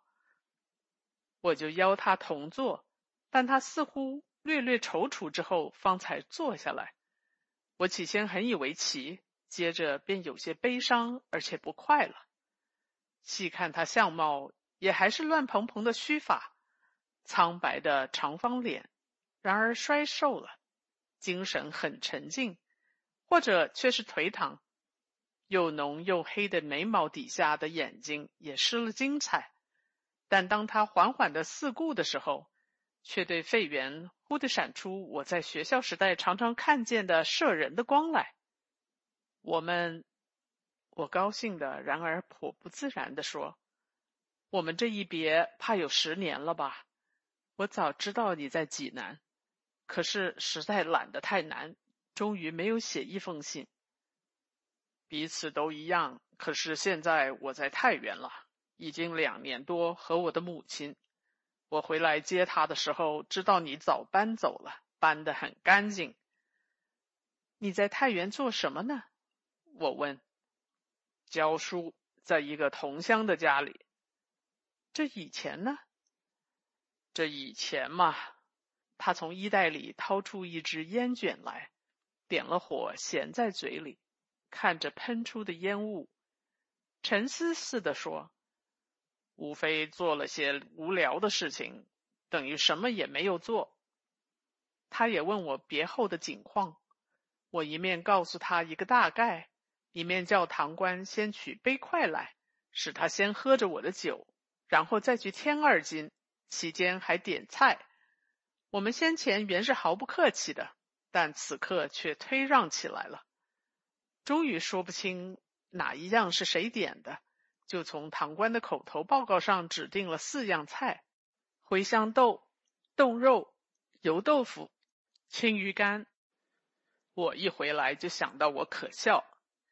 他一手擎着烟卷，一只手扶着酒杯，似笑非笑的向我说：“我在少年时看见疯子或影子停在一个地方，给什么来一下，即刻飞去了。但是飞了一个小圈子，便又回来停在原地点，便以为这实在很可笑也可怜。可不料现在我自己也飞回来了，不过绕了一点小圈子。”又不料你也回来了，你不能飞得更远些吗？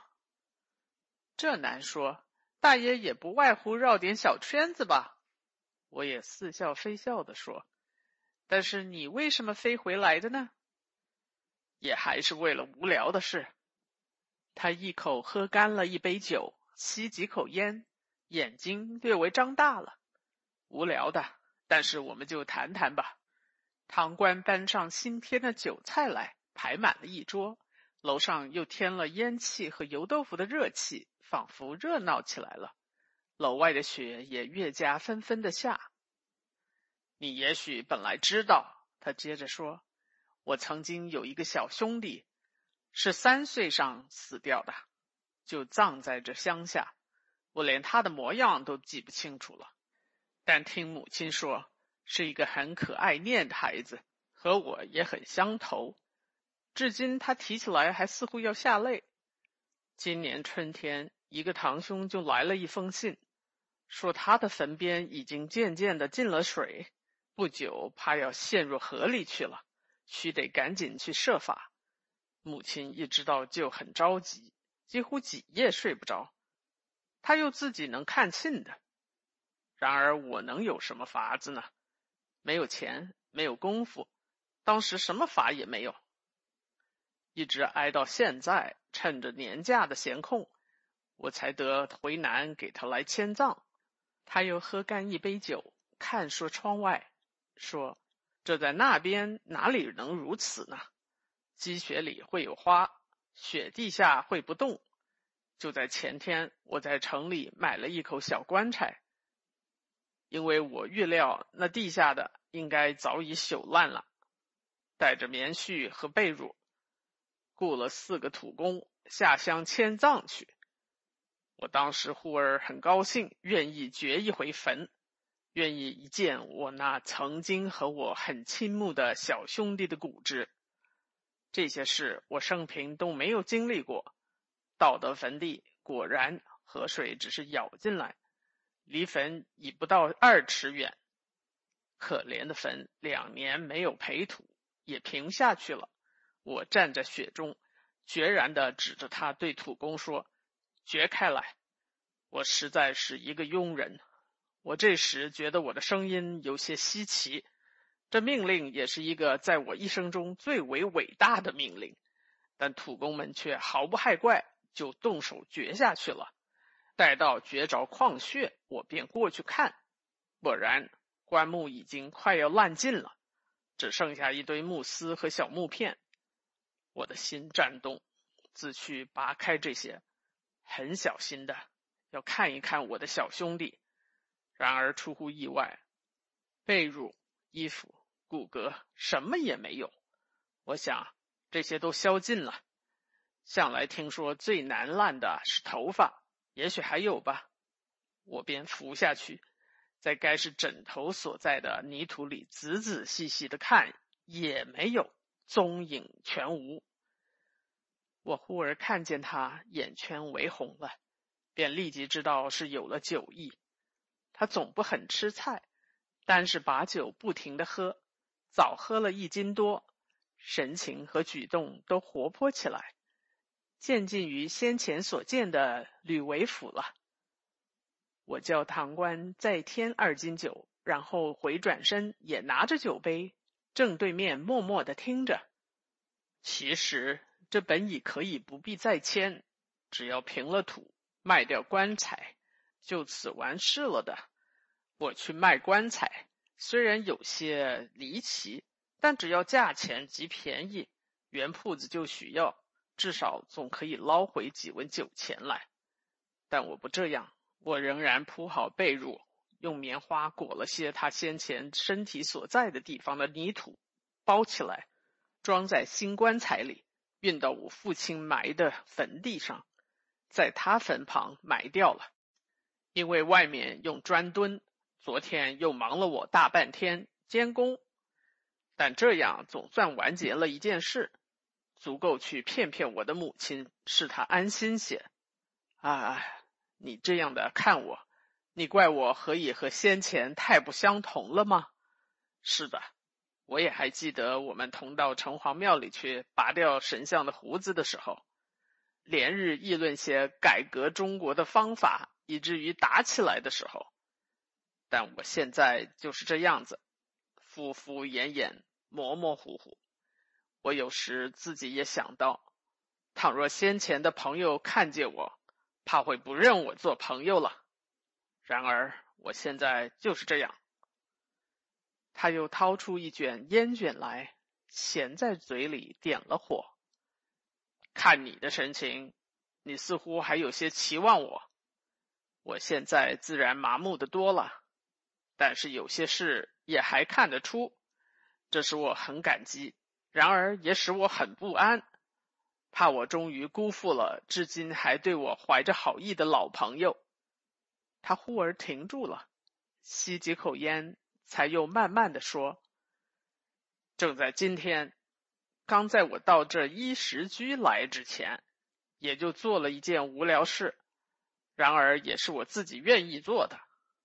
我先前的东边的邻居叫长富，是一个船户，他有一个女儿叫阿顺，你那时到我家里来，也许见过的，但你一定没有留心，因为那时他还小。”后来他也长得并不好看，不过是平常的瘦瘦的瓜子脸、黄脸皮，独有眼睛非常大，睫毛也很长，眼白又青的如夜的晴天，而且是北方的无风的晴天，这里的就没有那么明净了。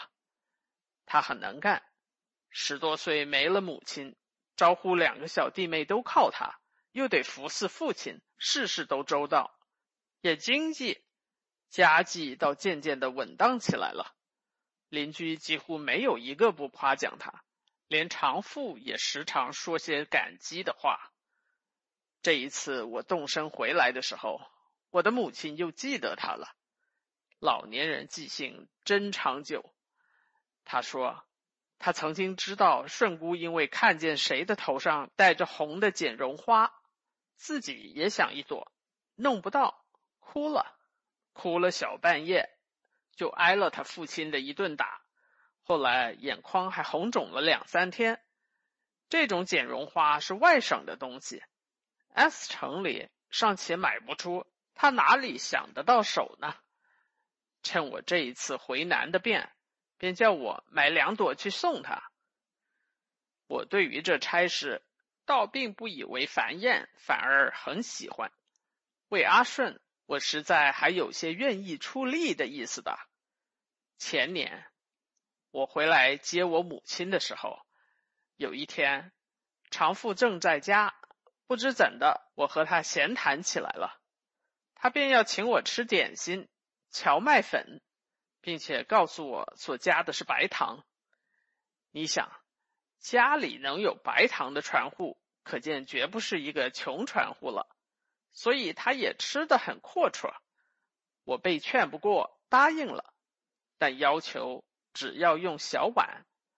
他也很是世故，便嘱咐阿顺说：“他们文人是不会吃东西的，你就用小碗，多加糖。”然而，等到调好端来的时候，仍然使我吃一下，是一大碗，足够我吃一天。但是和常父吃的一碗比起来，我的也确乎算小碗。我生平没有吃过荞麦粉，这回一尝，实在不可口，却是非常甜。我漫然的吃了几口，就想不吃了。然而无意中，忽然间看见阿顺远远的站在屋角里。就使我立刻消失了放下碗筷的勇气。我看他的神情是害怕，而且希望，大约怕自己调的不好，愿我们吃的有味。我知道，如果剩下大半碗来，一定要使他很失望，而且很抱歉。我于是同时决心放开红龙灌下去了，几乎吃的和常父一样快。我由此才知道硬吃的苦痛。我只记得还做孩子时候的，吃尽一碗拌着驱除蛔虫药粉的砂糖才有这样难。然而我毫不抱怨，因为他过来收拾空碗时候的忍着的得意的笑容，已尽够赔偿我的苦痛而有余了。所以我这一夜虽然饱胀的睡不稳，又做了一大串噩梦，也还是祝赞他一生幸福。愿世界为他变好。然而，这些意思也不过是我的那些旧日的梦的痕迹，即刻就自笑，接着也就忘却了。我先前并不知道他曾经为了一朵剪绒花挨打，但因为母亲一说起，便也记得了荞麦粉的事，意外的勤快起来了。我先在太原城里搜求了一遍，都没有，一直到济南。窗外沙沙的一阵声响，许多积雪从被他压弯了的一只山茶树上滑下去了，树枝笔挺的伸直，更显出乌油油的肥叶和血红的花来。天空的铅色来得更浓，小鸟却啾唧的叫着。大概黄昏将近，地面又全罩了雪，寻不出什么食粮，都赶早回巢来休息了。一直到了济南，他向窗外看了一回，转身喝干一杯酒，又吸几口烟，接着说：“我才买到剪绒花，我也不知道使他挨打的是不是这一种，总之是绒做的罢了。我也不知道他喜欢深色还是浅色，就买了一朵大红的，一朵粉红的，都带到这里来。就是今天午后。”我一吃完饭便去看长父，我为此特地耽搁了一天。他的家倒还在，只是看去很有些晦气死了。但这恐怕不过是我自己的感觉。他的儿子和第二个女儿阿昭都站在门口，大了。阿昭长得全不像他姐姐，简直像一个鬼。但是看见我走向他家，便飞奔的逃进屋里去。我就问那小子，知道长父不在家，你的大姐呢？他立刻瞪起眼睛，连声问我寻他什么事，而且恶狠狠的，似乎就要扑过来咬我。我支吾着退走了。我现在是敷敷衍衍。你不知道，我可是比先前更怕去访人了，因为我已经深知道自己之讨厌，连自己也讨厌。又何必明知故犯的去使人暗暗的不快呢？然而这回的差事是不能不办妥的，所以想了一想，终于回到就在斜对门的柴店里。店主的母亲老发奶奶倒也还在，而且也还认识我，居然将我邀进店里坐去了。我们寒暄几句之后，我就说明了回到 S 城和寻长父的缘故。不料他叹息说：“可惜顺姑没有福气带着剪绒花了。”他于是详细的告诉我，说是大约从去年春天以来。他就见得黄瘦，后来忽而常常下泪了。问他缘故又不说，有时还整夜的哭，哭的长父也忍不住生气，骂他年纪大了发了疯。可是，一到秋初，起先不过小伤风，终于躺倒了，从此就起不来。直到咽气的前几天，才肯对长父说，他早就像他母亲一样。不时的吐红和流夜汗，但是瞒着，怕他因此要担心。有一夜，他的伯伯长庚又来应借钱，这是常有的事。他不给，长庚就冷笑着说：“你不要娇气，你的男人比我还不如。”他从此就发了愁，又怕羞，不好问，只好哭。长富赶紧将他的男人怎样的争气的话说给他听，哪里还来得及？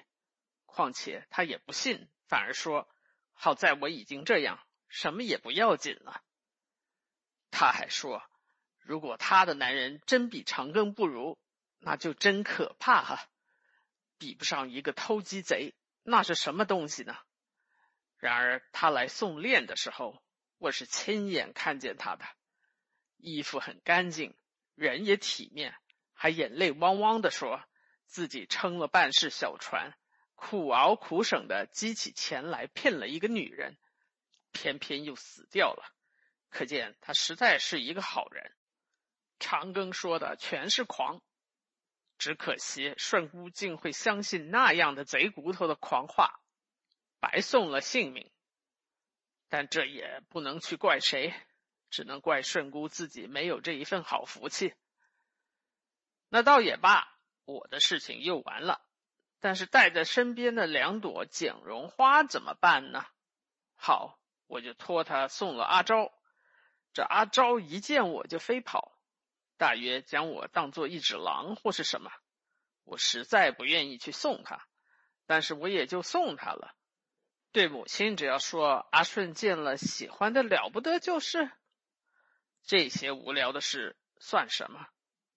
只要模模糊糊、模模糊糊的过了新年，仍旧教我的子曰诗云去。你教的是子曰诗云吗？我觉得奇异，便问：自然，你还以为教的是 A B C D 吗？我先是两个学生，一个读《诗经》，一个读《孟子》，新近又添了一个女的，读《女儿经》。连算学也不教，不是我不教，他们不要教。我实在料不到你倒去教这类的书。他们的老子要他们读这些，我是别人，无乎不可的。这些无聊的事算什么？只要随随便便。他满脸已经通红，似乎很有些醉，但眼光却又消沉下去了。我微微的叹息。一时没有话可说，楼梯上一阵乱响，涌上几个酒客来。当头的是矮子，臃肿的圆脸；第二个是长的，在脸上很惹眼的显出一个红鼻子。此后还有人，一叠连的走的小楼都发抖。我转眼去看着吕为甫，他也正转眼来看我。我就叫堂官算酒账。你借此还可以支持生活吗？我一面准备走，一面问：“是的，我每月有二十元，也不大能够敷衍。那么你以后预备怎么办呢？”以后我不知道。你看我们那时预想的事，可有一件如意？我现在什么也不知道，连明天怎样也不知道，连后一分。堂官送上账来，交给我。他也不像出道时候的谦虚了，只向我看了一眼，便吸烟，听凭我付了账。我们一同走出店门，他所住的旅馆和我的方向正相反，就在门口分别了。我独自向着自己的旅馆走，寒风和雪片扑在脸上，倒觉得很爽快。见天色已是黄昏，和屋宇和街道都织在密雪的。纯白而不定的罗网里。第三篇结束。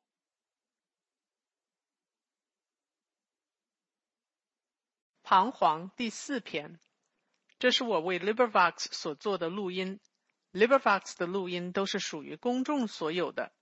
如果你想取得更多资讯或想加入义工行列，请点阅 LibriVox 点 org 网站。朗读者：Tina Ding。彷徨，作者鲁迅，第四篇，孤独者一。我和魏连书相识一场，回想起来倒也别致，竟是以宋练始，以宋练终。那时我在 S 城，就时时听到人们提起他的名字，都说他很有些古怪，所学的是动物学，却到中学堂去做历史教员。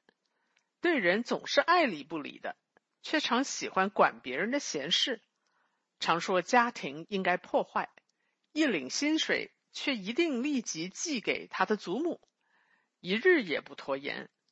此外还有许多零碎的画饼。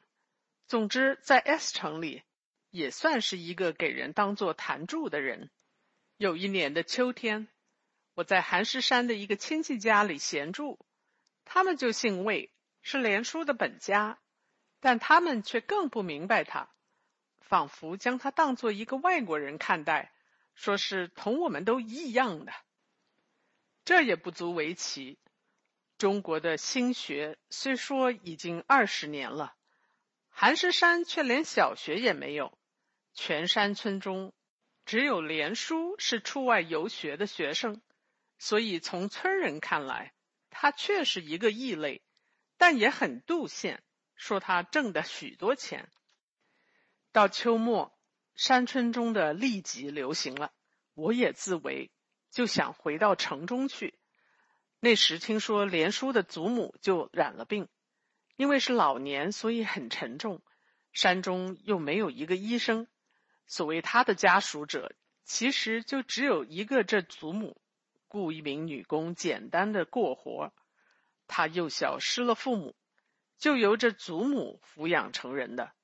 听说他先前也曾经吃过许多苦，现在可是安乐了。但因为他没有家小，家中究竟非常寂寞。这大概也就是大家所谓异样之一端吧。寒石山离城是旱道一百里，水道七十里，专使人叫连书去，往返至少就得四天。山村僻漏，这些事便算大家都要打听的大新闻。第二天便轰传他病势已经极重，专差也出发了。可是到四更天却咽了气。最后的话是：为什么不肯给我会一会连书的呢？族长进房，他的祖母的母家的亲丁闲人聚集了一屋子，预计连书的到来。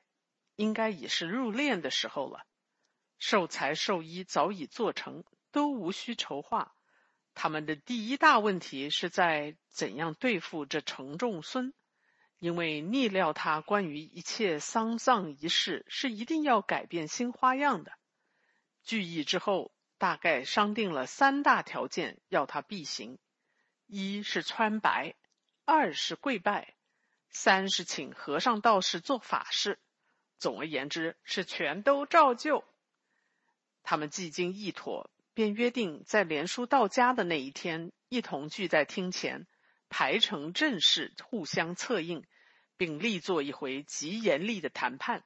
村人们都咽着唾沫，新奇的听候消息。他们知道连叔是吃洋教的新党，向来就不讲什么道理，两面的争斗大约总要开始的，或者还会酿成一种出人意外的奇观。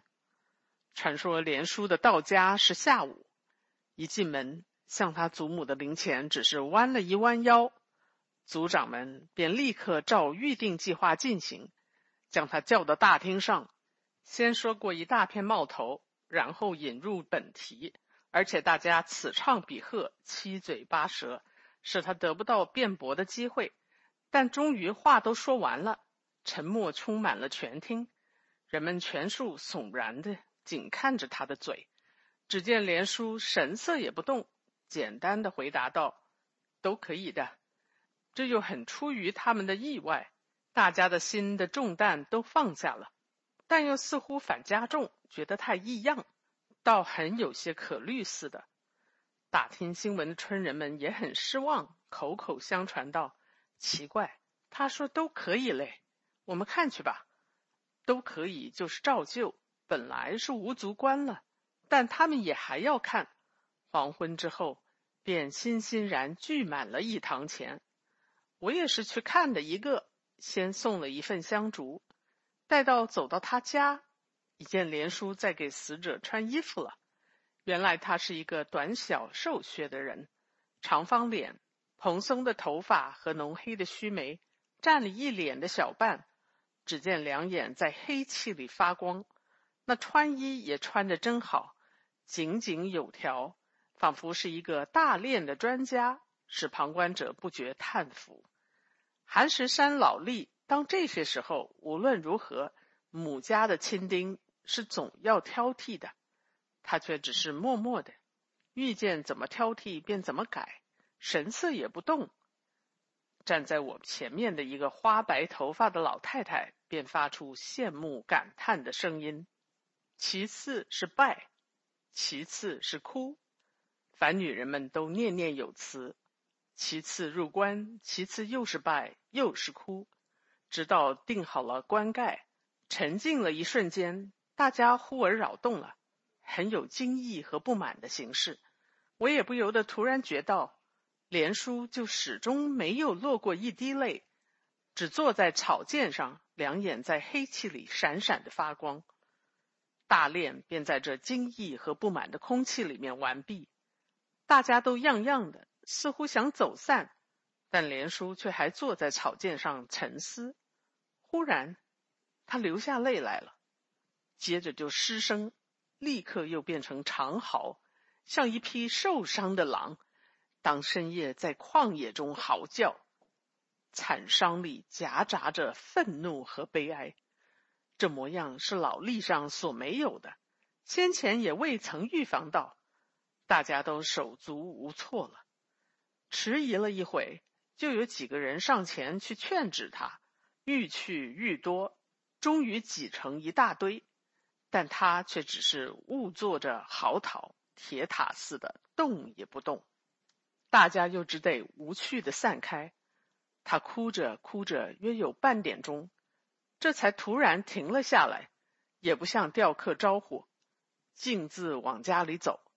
接着就有前去窥探的人来报告，他走进他祖母的房里，躺在床上，而且似乎就睡熟了。隔了两日，是我要动身回城的前一天，便听到村人都遭了魔似的发议论，说连叔要将所有的器具大半烧给他祖母。余下的便分赠生时侍奉、死时送终的女工，并且连房屋也要无期的借给他居住了。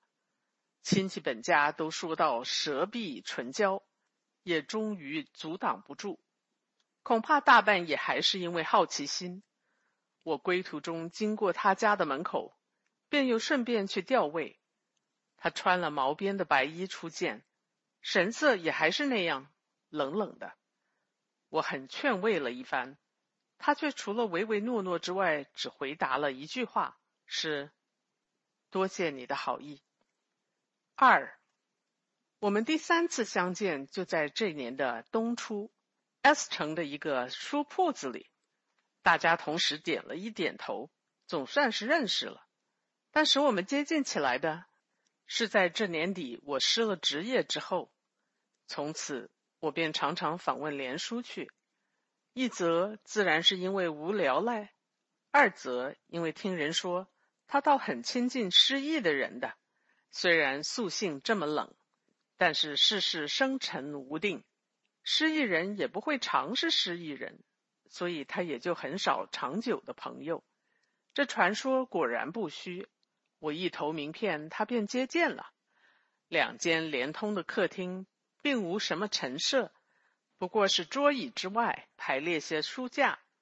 大家虽说他是一个可怕的新党，架上却不很有新书。他已经知道我失了职业，但套话一说就完，主客便只好默默的相对，逐渐沉闷起来。我只见他很快的吸完一支烟。烟蒂要烧着手指了，才抛在地面上。吸烟吧。他伸手取第二支烟时，忽然说：“我便也取了一支，吸着，讲些关于教书和书籍的，但也还觉得沉闷。我正想走时，门外一阵喧嚷和脚步声，四个男女孩子闯进来了，大的八九岁，小的四五岁，手脸和衣服都很脏。”而且丑的可以，但是连叔的眼里却即刻发出欢喜的光来了，连忙站起，向客厅间壁的房里走，一面说道：“大梁、二梁都来，你们昨天要的口琴我已经买来了。”孩子们便跟着一起涌进去，立刻又个人吹着一个口琴一涌而出，一出客厅门，不知怎的便打将起来，有一个哭了。一人一个都一样的，不要争哈！他还跟在后面嘱咐：“这么多的一群孩子都是谁呢？”我问：“是房主人的，他们都没有母亲，只有一个祖母。”房东只一个人吗？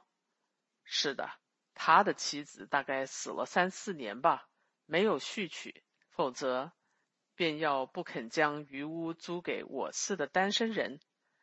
他说着，冷冷的微笑了。我很想问他何以至今还是单身，但因为不很熟，终于不好开口。只要和连叔一熟识，是很可以谈谈的。他议论非常多，而且往往颇起劲，使人不耐的倒是他的有些来客，大抵是读过沉沦的吧，时常自命为不幸的青年或是淋雨者，螃蟹一般懒散。而骄傲的堆在大椅子上，一面唉声叹气，一面皱着眉头吸烟。还有那房主的孩子们，总是互相争吵，打翻碗碟，硬讨点心，乱得人头昏。但连叔一见他们，却再不像平时那样的冷冷的了，看得比自己的性命还宝贵。听说有一回，三娘发了红斑纱，竟急得他脸上的黑气愈见其黑了。不料那病是轻的，于是后来便被孩子们的祖母传作笑柄。孩子总是好的，他们全是天真。他似乎也觉得我有些不耐烦了，有一天特地乘机对我说：“那也不尽然。”我只是随便回答他：“不，大人的坏脾气在孩子们是没有的。后来的坏，如你平日所攻击的坏，那是环境教坏的。”原来却并不坏，天真。我以为中国的可以希望只在这一点。不，如果孩子中没有坏根苗，大起来怎么会有坏花果？譬如一粒种子，正因为内中本含有枝叶花果的胚，长大时才能够发出这些东西来，何尝是无端？我因为闲着无事，便也如大人先生们一下也。就要吃素谈禅一样，正在看佛经，佛理自然是并不懂得的，但竟也不自检点，一昧任意的说。然而连叔气愤了，只看了我一眼，不再开口。我也猜不出他是无话可说呢，还是不屑辩。但见他又显出许久不见的冷冷的态度来，默默的连吸了两支烟，待到他再取第三支时。我便只好逃走了。这仇恨是历了三月之久才消逝的，原因大概是一半因为忘却，一半则他自己竟也被天真的孩子所仇视了。于是觉得我对于孩子的冒读的话，倒也情有可原。但这不过是我的推测，其实是在我的狱里的酒后，他似乎唯露悲哀模样，半仰着头道：“想起来真觉得有些奇怪。我到你这里来时，街上看见一个很小的小孩，拿了一片芦叶，指着我道：‘杀！’他还不很能走路。”这是环境教坏的，我即刻很后悔我的话，但他却似乎并不介意，只竭力的喝酒，期间又竭力的吸烟。我倒忘了，还没有问你，我便用别的话来支吾。你是不大访问人的，怎么今天有这兴致来走走呢？我们相识有一年多了，你到我这里来却还是第一回。我正要告诉你呢。你这几天切莫到我狱里来看我了，我的狱里正有很讨厌的一大一小在那里，都不像人。一大一小，这是谁呢？我有些诧异。是我的堂兄和他的小儿子，哈哈，儿子正如老子一般，是上城来看你，带便玩玩的吧？不，说是来和我商量，就要将这孩子过继给我的。啊？过继给你，我不禁惊叫了。你不是还没有娶亲吗？他们知道我不娶的了，但这都没有什么关系。他们其实是要过继给我那一间寒石山的破屋子。我此外一无所有，你是知道的。钱一到手就花完，只有这一间破屋子。他们父子的一生的事业，是在逐出那一个借住着的老女工。他那瓷器的冷峭，实在又使我悚然。但我还未解。他说：“我看你的本家也还不至于此，他们不过思想略旧一点罢了。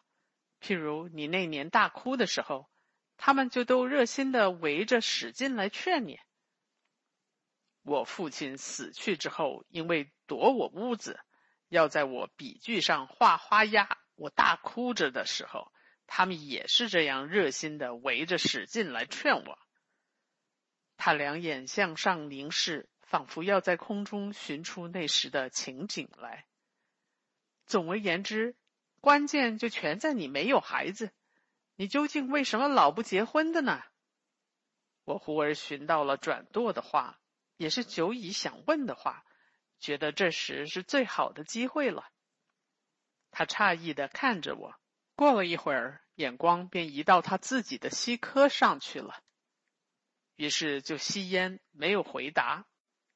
三，但是虽在这一种百无聊赖的境地中，也还不给连书安住。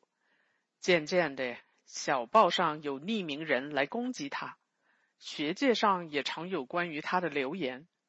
可是这已经并非先前似的单是画饼。大概是于他有损的了。我知道这是他近来喜欢发表文章的结果，倒也并不介意。S 成人最不愿意有人发些没有顾忌的议论，一有一定要暗暗的来盯他，这是向来如此的。连叔自己也知道。但到春天，忽然听说他已被校长辞退了，这却使我觉得有些误图。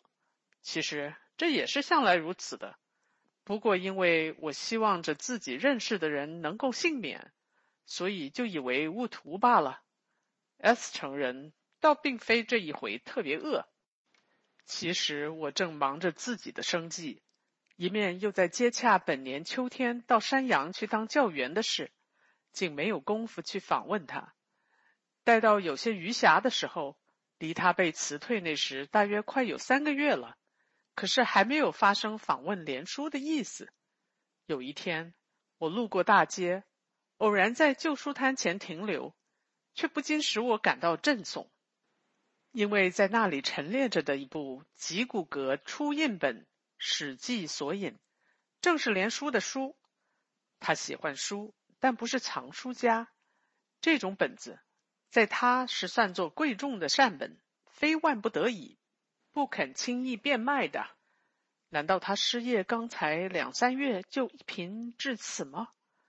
虽然他向来一有钱即随手散去，没有什么储蓄，于是我便决意访问连叔去，顺便在街上买了一瓶烧酒、两包花生米、两个熏鱼头。他的房门关闭着，叫了两声不见答应，我疑心他睡着了，更加大声的叫，并且伸手拍房门：“出去了吧，大梁门的祖母。”那三角眼的胖女人从对面的窗口探出她花白的头来，也大声说：“不耐烦似的，哪里去了呢？”我问：“哪里去了？谁知道呢？他能到哪里去呢？你等着就是，一会儿总会回来的。”我便推开门走进他的客厅去，真是一日不见如隔三秋，满眼是凄凉和空空洞洞。不但器具所余无几了，连书籍也只剩了在 S 城绝没有人会要的几本洋装书。屋中间的圆桌还在，先前曾经常常围绕着忧郁慷慨的青年、怀才不遇的骑士和肮脏吵闹的孩子们的，现在却见得很娴静，只在面上蒙着一层薄薄的灰尘。我就在桌上放了酒瓶和纸包，拖过一把椅子来，靠桌旁对着房门坐下。的确，不过是一会儿，房门一开，一个人悄悄的阴影似的进来了，正是连叔。也许是傍晚之故吧，看去仿佛比先前黑，但神情却还是那样。啊，你在这里，来的多久了？他似乎有些欢喜。并没有多久，我说：“你到哪里去了？”并没有到哪里去，不过随便走走。他也拖过椅子来，在桌旁坐下。我们便开始喝烧酒，一面谈些关于他的事业的事。但他却不愿意多谈这些。他以为这是意料中的事，也是自己时常遇到的事，无足怪，而且无可谈的。他照例只是一意喝烧酒。并且依然发些关于社会和历史的议论。不知怎的，我此时看见空空的书架，也记起吉古格初印本的《史记索引》，忽而感到一种淡漠的孤寂和悲哀。你的客厅这么荒凉，近来客人不多了吗？没有了，他们以为我心境不佳，来也无意味。心境不佳，实在是可以给人们不舒服的。冬天的公园就没有人去。他连喝两口酒，默默的想着，突然扬起脸来看着我，问道：“你在图谋的职业也还是毫无把握吧？”我虽然明知他已经有些酒意，但也不禁愤然，正想发话，只见他侧耳一听，便抓起一把花生米出去了。门外是大梁们笑嚷的声音，但他一出去，孩子们的声音便急然，而且似乎都走了。他还追上去说些话，却不听得有回答，他也就阴影似的悄悄的回来，仍将一把花生米放在纸包里，连我的东西也不要吃了。他低声嘲笑似的说：“连叔。”我很觉得悲凉，却强装着微笑说：“我以为你太自寻苦恼了，你看的人间太坏。”他冷冷的笑了一笑。我的话还没完哩，你对于我们偶尔来访问你的我们，也以为因为闲着无事，所以来你这里将你当做消遣的资料的吧？并不，但有时也这样想，或者寻些谈资。那你可错误了，人们其实并不这样。你是在亲手造了独头茧，将自己裹在里面了。你应该将世间看得光明些。我叹息着说：“也许如此吧。但是你说那丝是怎么来的？自然，世上也尽有这样的人。譬如我的祖母就是。我虽然没有分得他的血液，却也许会继承他的运命。然而这也没有什么要紧，我早已预先一起哭过了。我即刻记起他祖母大殓时候的情景来，如在眼前一样。我总不解你那时的大哭，于是误图的问了：“我的祖母入殓的时候吧？”“是的，你不解的。”他一面点灯，一面冷静的说：“你的和我交往，我想还正因为那时的哭嘞。你不知道，这祖母是我父亲的继母，他的生母，他三岁时候就死去了。”他想着，默默的喝酒，吃完了一个熏鱼头。那些往事我原是不知道的，只是我从小时候就觉得不可解。那时我的父亲还在，家境也还好。正月间一定要悬挂祖像，盛大的供养起来。看着这许多盛装的画像，在我那时似乎是不可多得的眼福。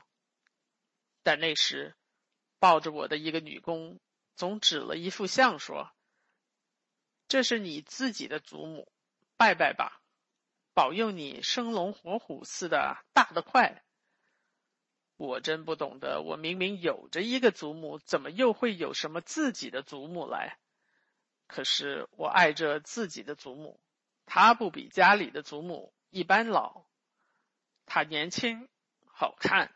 穿着描金的红衣服，戴着珠冠，和我母亲的像差不多。我看她时，她的眼睛也注视我，而且口角上渐渐增多了笑意。我知道他一定也是极其爱我的。然而，我也爱那家里的，终日坐在窗下慢慢的做针线的祖母。虽然无论我怎样高兴的在他面前玩笑叫他，也不能引他欢笑，常使我觉得冷冷的，和别人的祖母们有些不同。但我还爱他，可是到后来我逐渐疏远他了。这也并非因为年纪大了，已经知道他不是我父亲的生母的缘故，倒是看久了终日中年的做针线，机器似的。自然免不了要发烦，但他却还是先前一样做针线，管理我，也爱护我。虽然少见笑容，却也不加呵斥。直到我父亲去世，还是这样。后来呢，我们几乎全靠他做针线过活了，自然更这样。直到我进学堂，灯火消沉下去了。煤油已经将合，他便站起，从书架下摸出一个小小的羊铁壶来添煤油。只这一月里，煤油已经涨价两次了。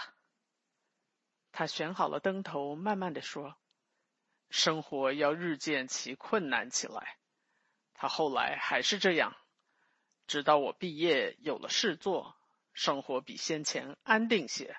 恐怕还直到他生病，实在打熬不住了，只得躺下的时候吧。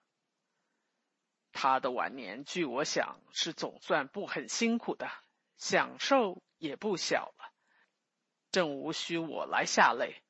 况且哭的人不是多着吗？连先前竭力欺凌他的人们也哭，至少是脸上很惨然。哈哈。可是我那时不知怎的，将他的一生缩在眼前了，亲手造成孤独，又放在嘴里去咀嚼的人的一生，而且觉得这样的人还很多嘞。这些人们就使我要痛哭，但大半也还是因为我那时太过于感情用事。你现在对于我的意见，就是我先前对于他的意见。然而，我的那时的意见其实也不对的。便是我自己从略知世事起，就的确逐渐和他疏远起来了。他沉默了，指尖夹着烟卷，低了头想着。灯火在微微的发抖。哈，人要是死后没有一个人为他哭，是不容易的事哈。他自言自语似的说，略略一停，便扬起脸来向我道：“想来你也无法可想，我也还得赶紧寻点事情做。你再没有可托的朋友了吗？”我这时正是无法可想，连自己。那倒大概还有几个的，可是他们的境遇都和我差不多。我辞别连叔出门的时候，圆月已经升在中天了，是极静的夜。四，山羊的教育事业的状况很不佳，我到校两月得不到一文薪水。只得连烟卷也节省起来，但是学校里的人们虽是月薪十五六元的小职员，也没有一个不是乐天知命的，仗着逐渐打熬成功的铜筋铁骨，面黄肌瘦的从早办公一直到夜，期间看见名位较高的人物，还得恭恭敬敬的站起，实在都是不必衣食足而知礼节的人民。我每看见这情状，不知怎的，总记起连叔临别托付我的话来。他那时生计更奇不堪了，窘相时时显露，看去似乎已没有往时的深沉。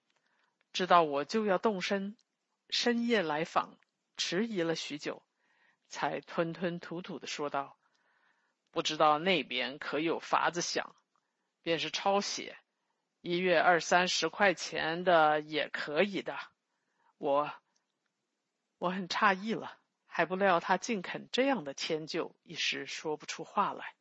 我我还得活几天，那边去看一看，一定竭力去设法吧。这是我当日一口承当的答话。后来常常自己听见，眼前也同时浮出连叔的相貌，而且吞吞吐吐的说道。我还得活几天。到这些时，我便设法向各处推荐一番，但有什么效验呢？事少人多，结果是别人给我几句抱歉的话，我就给他几句抱歉的信。到一学期将完的时候，那情形就更加坏了起来。那地方的几个绅士所办的学理周报上，竟开始攻击我了。自然是绝不指名的，但措辞很巧妙，使人一见就觉得我是在挑剔学潮。连推荐连书的事也算是呼朋引类。我只好一动不动，除上课之外，便关起门来躲着。有时连烟卷的烟钻出窗隙去，也怕犯了挑剔学潮的嫌疑。连书的事，自然更是无从说起了。这样的一直到深冬，下了一天雪，到夜还没有止，屋外一切静极，静到要听出静的声音来。我在小小的灯火光中闭目枯坐，如见雪花片片飘坠，来增补这一望无际的雪堆。故乡也准备过年了，人们忙得很，我自己还是一个儿童。在后院的平坦处，和一伙小朋友塑雪罗汉。雪罗汉的眼睛是用两块小炭牵出来的，颜色很黑，这一闪动便变了连叔的眼睛。我还得活几天，仍是这样的声音。为什么呢？我无端的这样问，立刻连自己也觉得可笑了。这可笑的问题使我清醒，坐直了身子，点起一支烟卷来，推窗一望，雪果然下得更大了。听得有人叩门，不一会一个人走进来，但是听熟的客寓杂役的脚步。他推开我的房门，交给我一封六寸多长的信，字迹很潦草，然而一瞥便认出“魏坚”两个字是连书寄来的。这是从我离开 S 城以后，他给我的第一封信。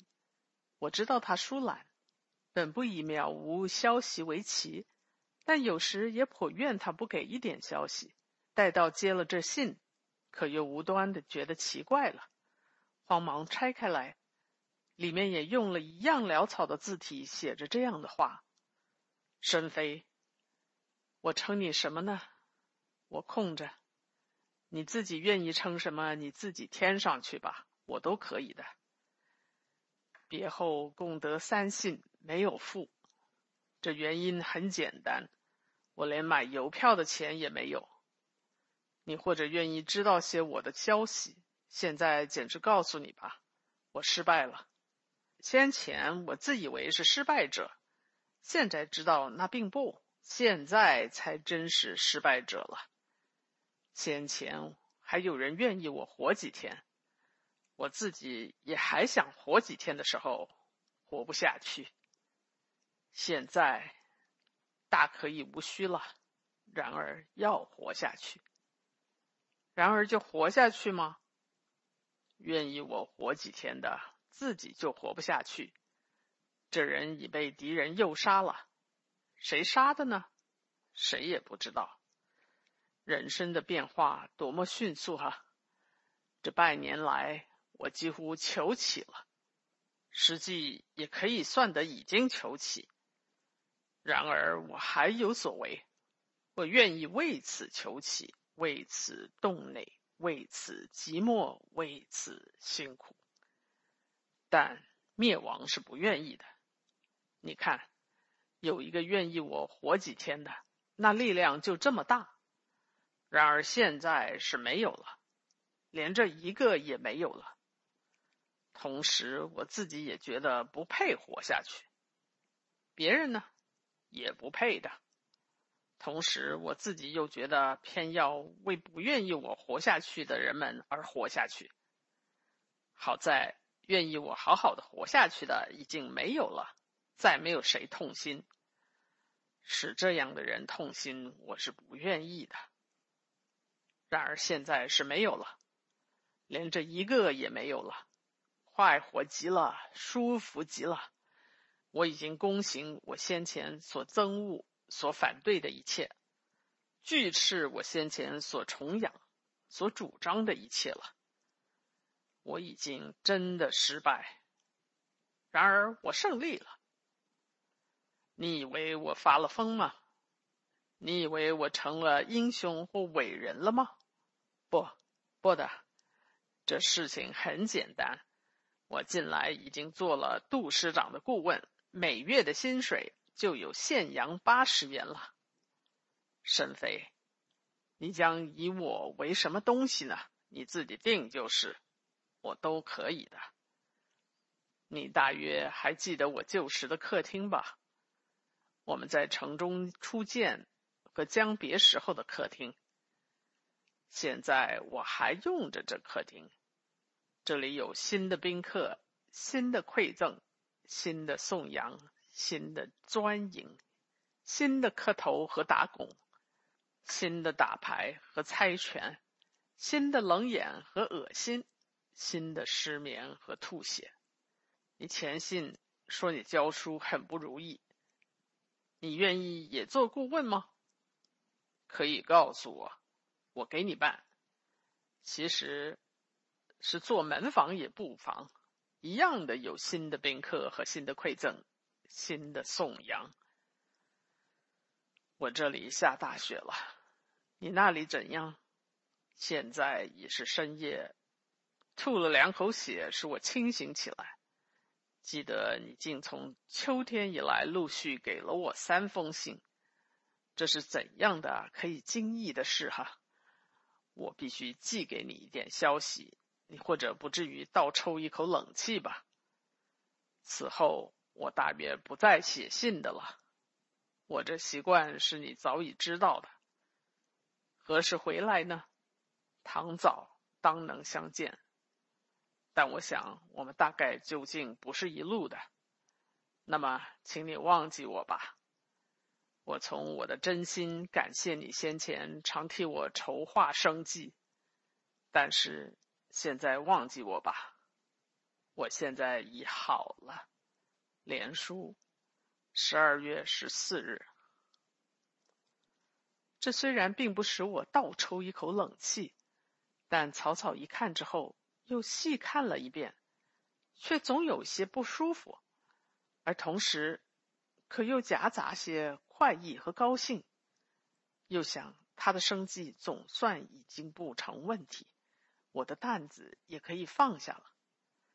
虽然在我这一面始终不过是无法可想，忽而又想写一封信回答他，但又觉得没有话说，于是这意思也立即消失了。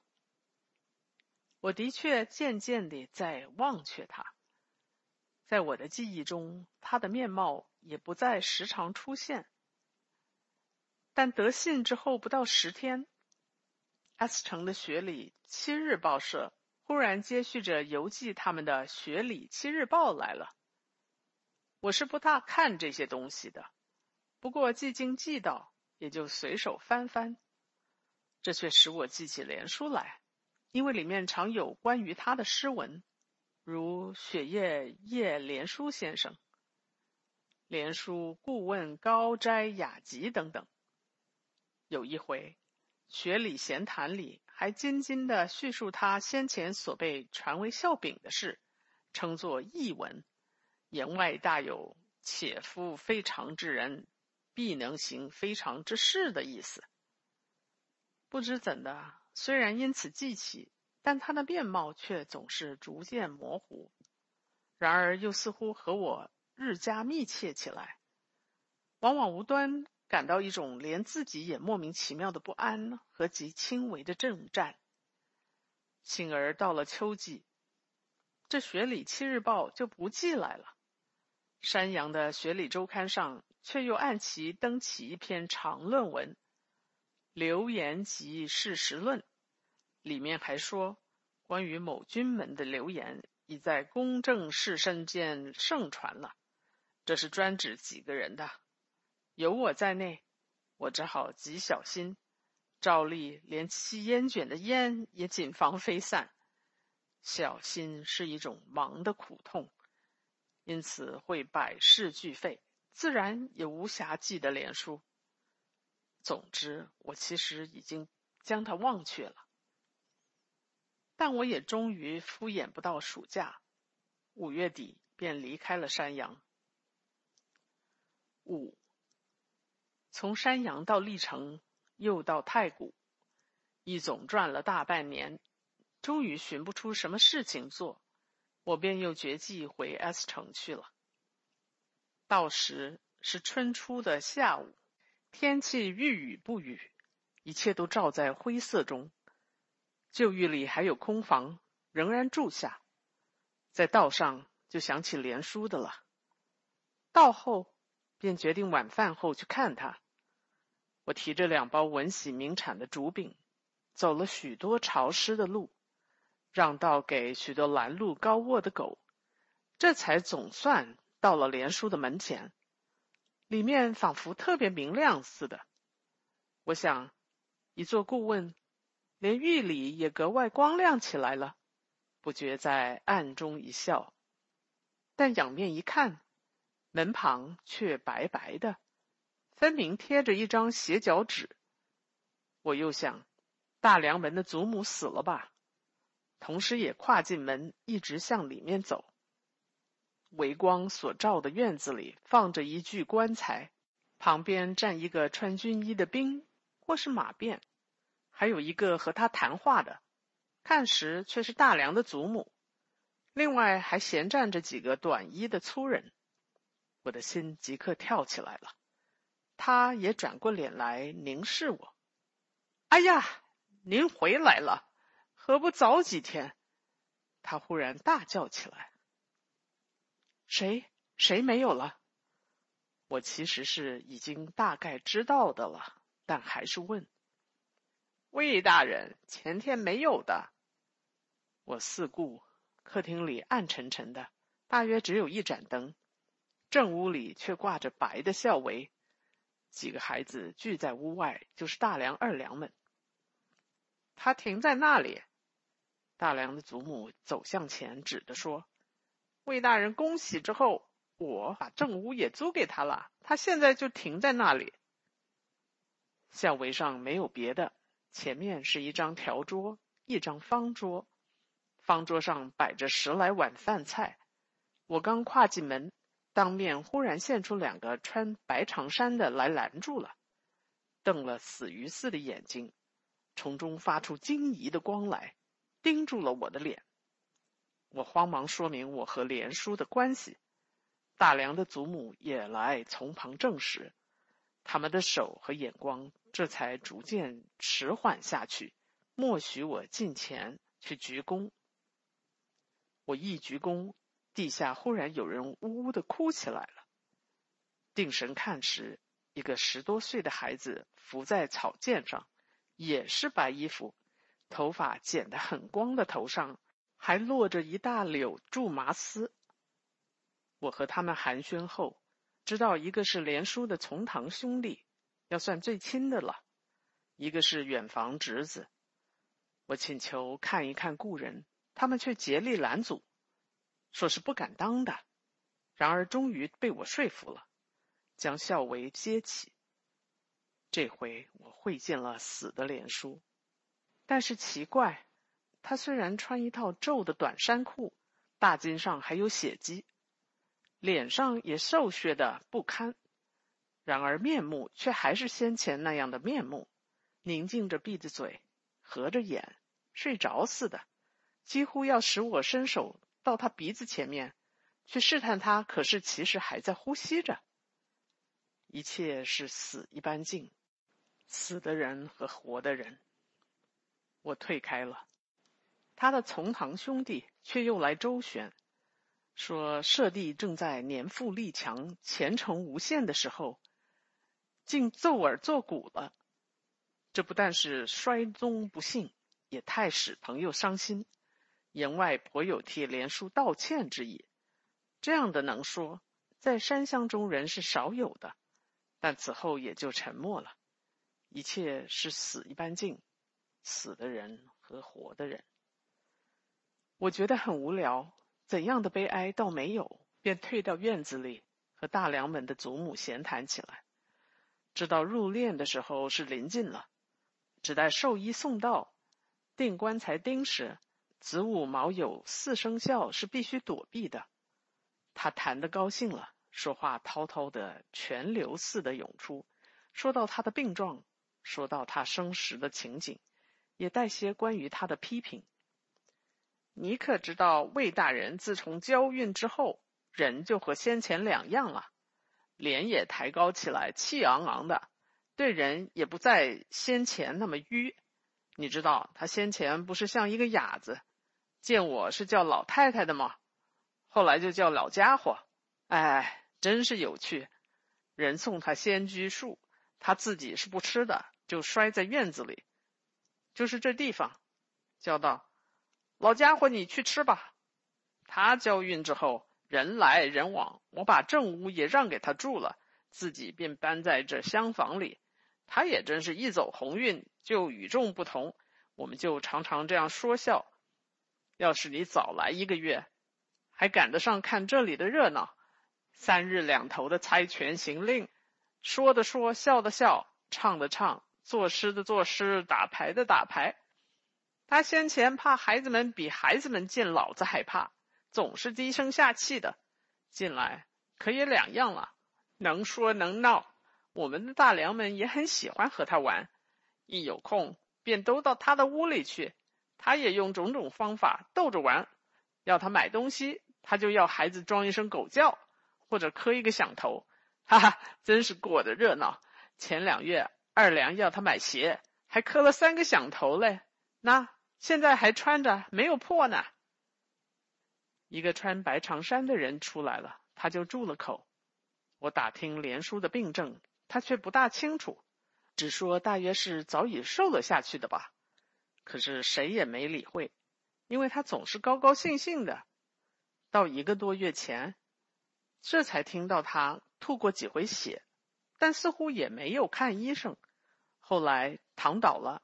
死去的前三天就哑了喉咙，说不出一句话。十三大人从寒石山路远迢迢的上城来，问他可有存款，他一声也不响。十三大人疑心他装出来的。也有人说，有些生痨病死的人是要说不出话来的，谁知道呢？可是魏大人的脾气也太古怪。他忽然低声说：“他就不肯积蓄一点水似的化钱。”十三大人还疑心我们得了什么好处？有什么屁好处呢？他就冤里冤枉、糊里糊涂的化掉了。譬如买东西，今天买进，明天又卖出，弄破。真不知道是怎么一回事，待到死了下来，什么也没有，都糟掉了。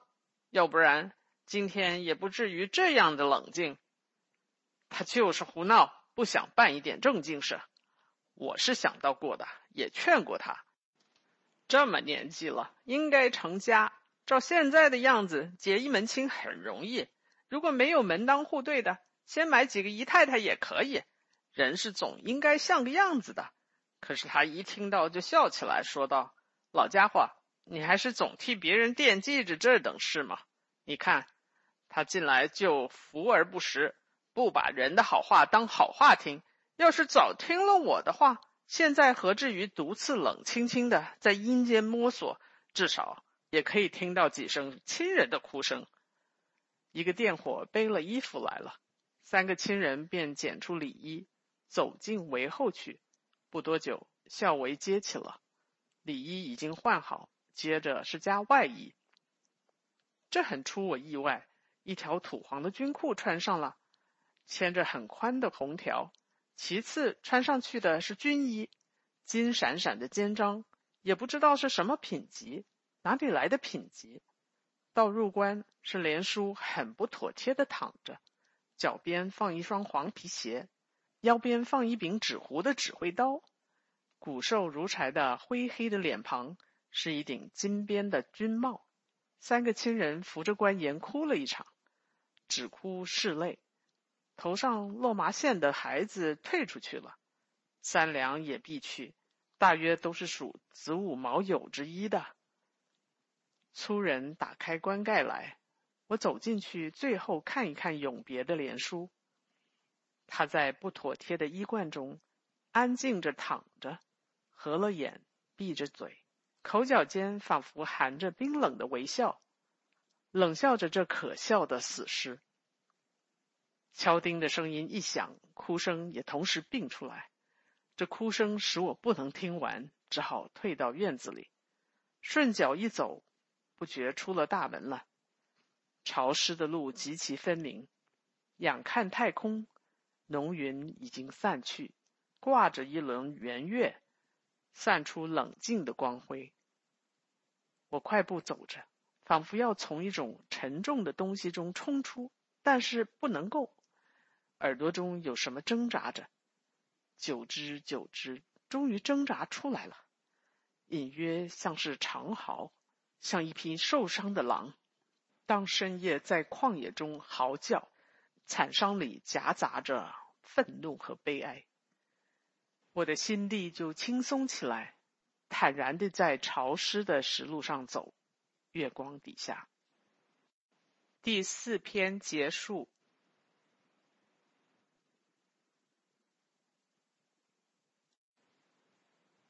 彷徨第五篇，这是我为 LibriVox 所做的录音，LibriVox 的录音都是属于公众所有的。如果你想取得更多资讯或想加入义工行列，请点阅 librivox 点 org 网站。朗读者 Tina Ding。彷徨，作者鲁迅。第五篇，示众。首善之区的西城的一条马路上，这时候什么扰攘也没有。火焰焰的太阳虽然还未直照。但路上的沙土仿佛已是闪烁的生光，酷热满合在空气里面，到处发挥着盛夏的威力。许多狗都拖出舌头来，连路上的乌老鸭也张着嘴喘气。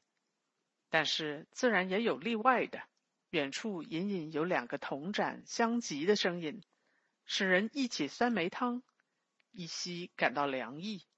可是那懒懒的、单调的金属音的间奏，却使那寂静更其深远了。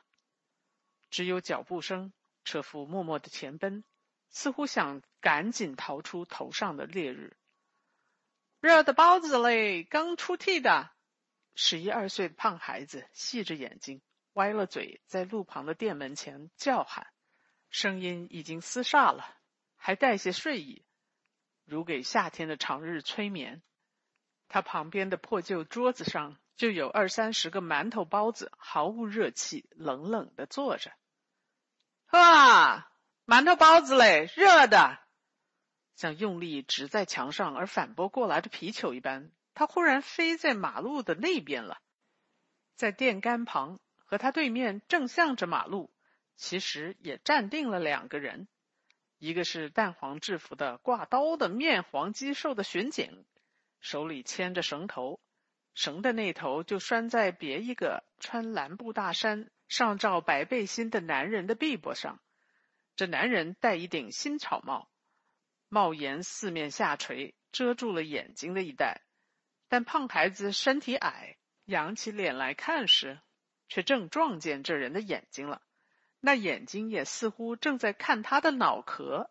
他连忙顺下眼去看白背心，只见背心上一行一行的写着些大大小小的什么字。霎时间，也就围满了大半圈的看客。待到增加了秃头的老头子之后，空缺已经不多。而立刻又被一个赤膊的红鼻子胖大汉补满了。这胖子过于横阔，占了两人的地位，所以絮道的便只能屈在第二层，从前面的两个脖子之间伸进脑袋去。秃头站在白背心的略略正对面，弯了腰去研究背心上的文字，终于读起来：翁都哼巴。儿胖孩子却看见那白背心正研究着这发亮的秃头，他也便跟着去研究。就只见满头光油油的，耳朵左近还有一片灰白色的头发。此外也不见得有怎样新奇。但是后面的一个抱着孩子的老妈子却想乘机挤进来了。秃头怕失了位置，赶忙站直。文字虽然还未读完。然而无可奈何，只得另看白背心的脸。草帽檐下半个鼻子，一张嘴，尖下巴，又像用了力直在墙上而反拨过来的皮球一般。一个小学生飞奔上来，一手按住了自己头上的雪白的小布帽，向人丛中直钻进去。但他钻到第三，也许是第四层。竟遇见一件不可动摇的伟大的东西了。抬头看时，蓝裤腰上面有一座赤条条的、很阔的背脊，背脊上还有汗正在流下来。他知道无可措手，只得顺着裤腰右行。幸而在尽头发现了一条空处，透着光明。他刚刚低头要钻的时候，只听得一声“什么”。那裤腰以下的屁股向右一歪，空处立刻闭塞，光明也同时不见了。但不多久，小学生却从巡警的刀旁边钻出来了。他诧异的四顾，外面围着一圈人，上手是穿白背心的，那对面是一个赤膊的胖小孩，胖小孩后面是一个赤膊的红鼻子胖大汉。他这时隐约悟出先前的伟大的障碍物的本体了，便惊奇而且佩服似的指望着红鼻子胖小孩。本是注视着小学生的脸的，于是也不禁依了他的眼光，回转头去了。在那里是一个很胖的奶子，奶头四近有几只很长的毫毛。他犯了什么事了？大家都愕然看时，是一个工人似的粗人，正在低声下气的请教那秃头老头子。秃头不作声，但是睁起了眼睛看定他。他被看得顺下眼光去，过一会再看时，秃头还是睁起了眼睛看定他。而且别的人也似乎都睁了眼睛看定他。他于是仿佛自己就犯了罪似的局促起来，终至于慢慢退后溜出去了。一个夹阳伞的长子就来补了缺，秃头也旋转脸去再看白背心。长子弯了腰，要从垂下的草帽檐下去赏视白背心的脸，但不知道为什么忽又站直了。于是他背后的人们又需竭力伸长了脖子。有一个瘦子，竟至于连嘴都张得很大，像一条死鲈鱼。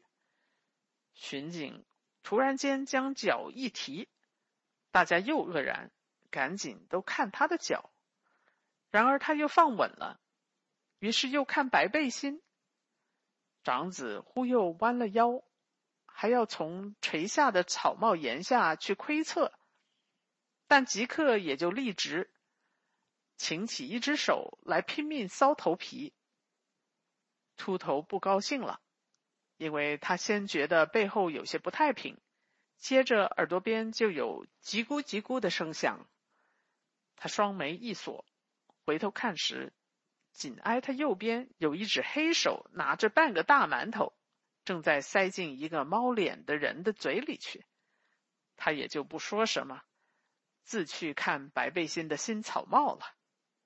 忽然就有暴雷似的一击，连横阔的胖大汉也不免向前一枪量，同时从他肩膊上伸出一指胖的不相上下的臂膊来，展开五指，拍的一声，正打在胖孩子的脸颊上。好快活，你妈的！同时，胖大汉。后面就有一个弥勒佛似的更圆的胖脸这么说，胖孩子也呛凉了四五步，但是没有倒，一手按着脸颊，旋转身就想从胖大汉的腿旁的空隙间钻出去。胖大汉赶忙站稳，并且将屁股一歪，塞住了空隙，恨恨的问道：“什么？”胖小孩就像小鼠子落在补鸡里似的，仓皇了一会儿。忽然向小学生那一面奔去，推开他，冲出去了。小学生也反身跟出去了。哈，这孩子，总有五六个人都这样说。待到重归平静，胖大汉在看白背心的脸的时候，却见白背心正在仰面看他的胸脯。他慌忙低头也看自己的胸脯时，只见两乳之间的挖下的坑里有一片汗。他于是用手掌拂去了这些汗，然而形势似乎总不甚太平了。抱着小孩的老妈子，因为在骚扰时四顾没有留意，头上梳着的喜鹊尾巴似的苏州翘，便碰了站在旁边的车夫的鼻梁。车夫一推，却正推在孩子上，孩子就扭转身去，向着圈外嚷着要回去了。老妈子先也略略一枪凉，但便即站定，旋转孩子来，使他正对白背心，一手指点着说道：“啊，看啊，多么好看呐！”空隙间，忽而探进一个戴硬草帽的学生模样的头来，将一粒瓜子之类似的东西放在嘴里，下颚向上一磕，咬开，退出去了。这地方就补上了一个满头油汗而粘着灰土的椭圆脸，夹阳伞的长子也已经生气，斜下了一边的肩膀，皱眉急视着肩后的死鲈鱼。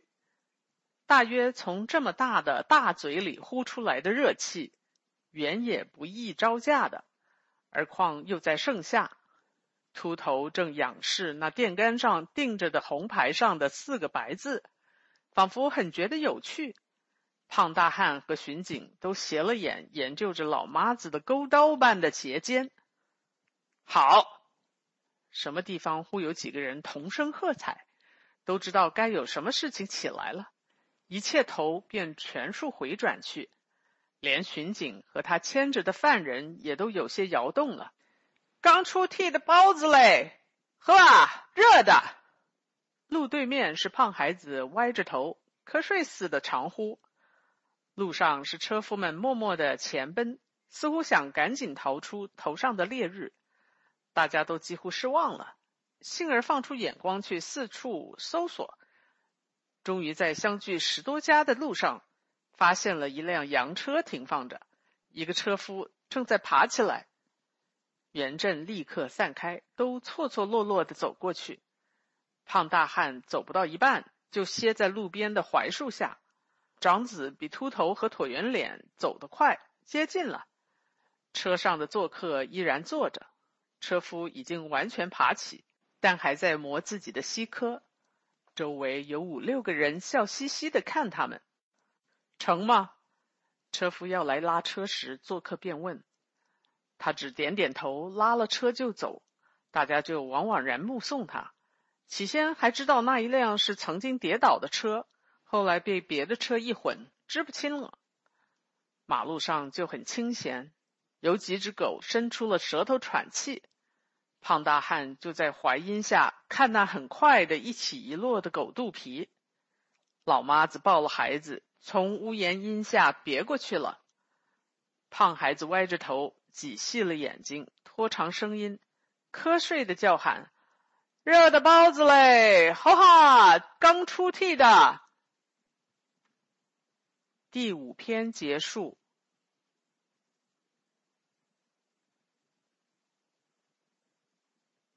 彷徨第六篇，这是我为 LibriVox 所做的录音。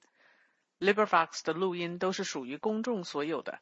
如果你想取得更多资讯或想加入义工行列，请点阅 LibriVox 点 org 网站。朗读者：Tina Ding。彷徨，作者鲁迅。第六篇，高老夫子。这一天从早晨到午后，他的功夫全费在照镜、看中国历史教科书和查袁了凡纲鉴里。真所谓人生世字忧患史，顿觉得对于世事很有些不平之意了。而且这不平之意是他从来没有经验过的。首先就想到往常的父母实在太不将儿女放在心里。他还在孩子的时候，最喜欢爬上桑树去偷桑葚吃，但他们全不管。有一回，竟跌下树来，磕破了头，又不给好好的医治，至今左边的眉棱上还带着一个永不消灭的尖劈形的斑痕。他现在虽然格外留长头发，左右分开，又斜梳下来，可以勉强遮住了，但究竟还看见尖劈的尖。也算得一个缺点，万一给女学生发现，大概是免不了要看不起的。他放下镜子，怨愤的吁一口气。其次，是中国历史教科书的编撰者竟太不为教员设想。他的书虽然和《了凡刚健》也有些相合，但大段又很不相同，若即若离，令人不知道讲起来应该怎样拉在一处。但待到他撇着那夹在教科书里的一张纸条，却又怨起中途辞职的历史教员来了，因为那纸条上写的是“从第八章东晋之兴亡起”。如果那人不将三国的事情讲完，他的预备就绝不至于这么困苦。他最熟悉的就是三国，例如桃园三结义、孔明借箭、三气周瑜。黄忠定军山斩夏侯渊，以及其他种种，满肚子都是，一学期也许讲不完。到唐朝，则有秦琼卖马之类，便又较为擅长了。谁料偏偏是东晋，他又怨愤的吁一口气，再拉过《了凡刚进》来。快，你怎么外面看看还不够，又要钻到里面去看了？一只手同时从他背后弯过来，一拨他的下巴，但他并不动，因为从声音和举动上便知道是暗暗足癖进来的打牌的老朋友黄三。他虽然是他的老朋友，一礼拜以前还一同打牌、看戏、喝酒、跟女人，但自从他在《大中日报》上发表了。论中华国民皆有整理国史之义务这一篇脍炙人口的铭文，接着又得了贤良女学校的聘书之后，就觉得这黄三一无所长，总有些下等相了，所以他并不回头，板着脸正正经经的回答道：“不要胡说，我正在预备功课。”你不是亲口对老伯说的吗？你要谋一个教员做，去看看女学生。你不要相信老伯的狗屁。黄三就在他桌旁坐下，向桌面上一瞥，立刻在一面镜子。和一堆乱书之间，发现了一个翻开着的大红纸的帖子。他一把抓来，瞪着眼睛，一字一字的看下去。今敦请尔楚高老夫子为本校历史教员，每周授课四小时，每小时敬诵修经大洋三角正，按时间计算。此约前两女学校校长何万淑珍。练任紧定，中华民国十三年夏历菊月吉旦立。而楚高老夫子谁呢？你吗？你改了名字了吗？黄三一看完就性急的问，但高老夫子只是高傲的一笑。他的确改了名字了，然而黄三只会打牌，到现在还没有留心新学问、新艺术。他既不知道有一个俄国大文豪高尔基，又怎么说得通这改名的深远的意义呢？所以他只是高傲的一笑，并不答复他。喂喂，老干，你不要闹这些无聊的玩意儿了。黄三放下聘书说：“我们这里有了一个男学堂，风气已经闹得够坏了，他们还要开什么女学堂？将来真不知道要闹成什么样子才罢。你何苦也去闹？”犯不上，这也不见得。况且何太太一定要请我，辞不掉。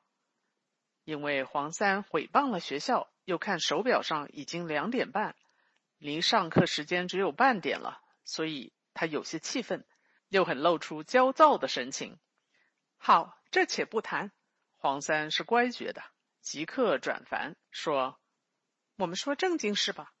今天晚上我们有一个局面。”毛家屯毛子府的大儿子在这里了，来请杨宅先生看坟地去的，手头现带二百番。我们已经约定晚上凑一桌，一个我，一个老波，一个就是你，你一定来吧，万不要误事。我们三个人扫光他。老干高老夫子沉吟了，但是不开口。你一定来，一定。我还得和老波去接洽一回，地方还是在我的家里。那傻小子是初出茅庐，我们准可以扫光他。你将那一副竹文清楚一点的交给我吧。高老夫子慢慢的站起来，到床头取了麻将牌盒，交给他。一看手表，两点四十分了。他想，黄三虽然能干，但明知道我已经做了教员，还来当面毁谤学堂，又打搅别人的预备功课，究竟不应该。他于是冷淡的说道。晚上再商量吧，我要上课去了。他一面说，一面恨恨的向《了凡刚健》看了一眼，拿起教科书装在新皮包里，又很小心的戴上新帽子，便和黄三出了门。他一出门就放开脚步，像木匠牵着的钻子似的，肩膀一扇一扇的直走。不多久，黄三便连他的影子也望不见了。高老夫子一跑到贤良女学校，即将新印的名片交给一个驼背的老门房，不一呼就听到一声“请”，他于是跟着驼背走，转过两个弯，已到教员预备室了，也算是客厅。何校长不在校，迎接他的是花白胡子的教务长，大名鼎鼎的万尧普，别号玉皇香案立的。新晋正将他自己和女仙赠答的诗《仙坛惆怅集》陆续登在《大中日报》上。哎呀，楚翁久仰久仰！万尧普连连拱手，并将膝关节和腿关节接连弯了五六弯，仿佛想要蹲下去似的。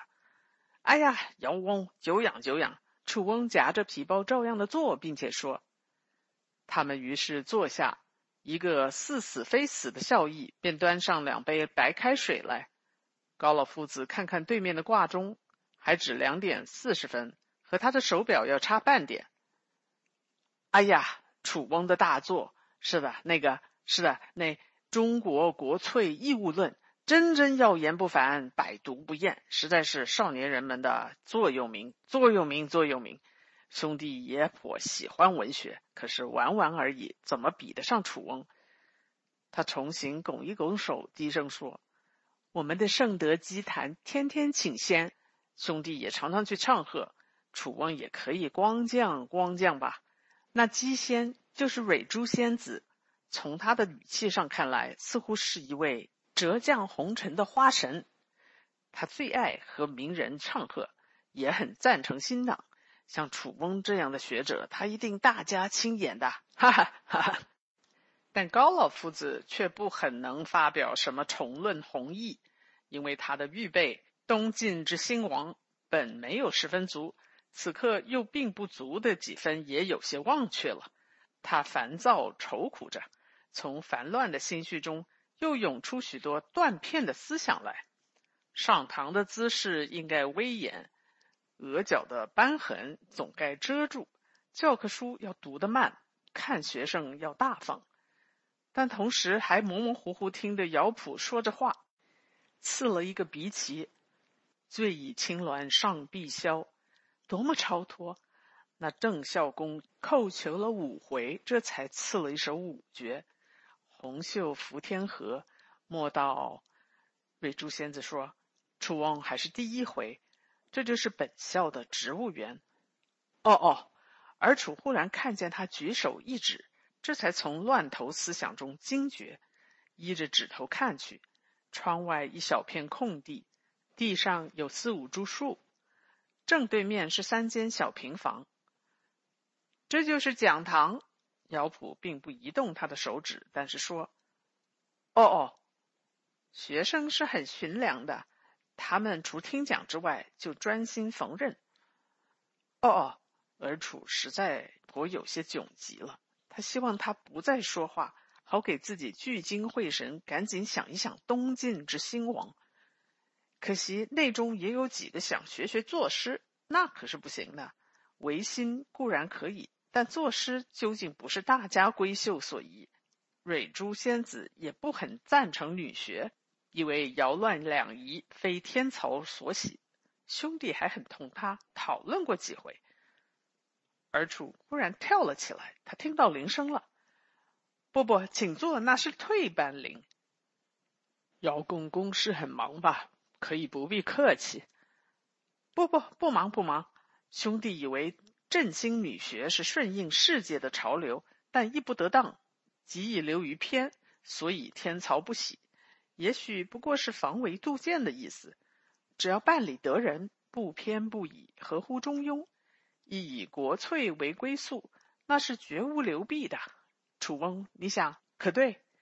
这是蕊珠仙子也以为不无可采的话，哈哈哈哈！笑意又送上两杯白开水来，但是铃声又响了，姚普便请儿楚喝了两口白开水，这才慢慢的站起来。引导他穿过植物园，走进讲堂去。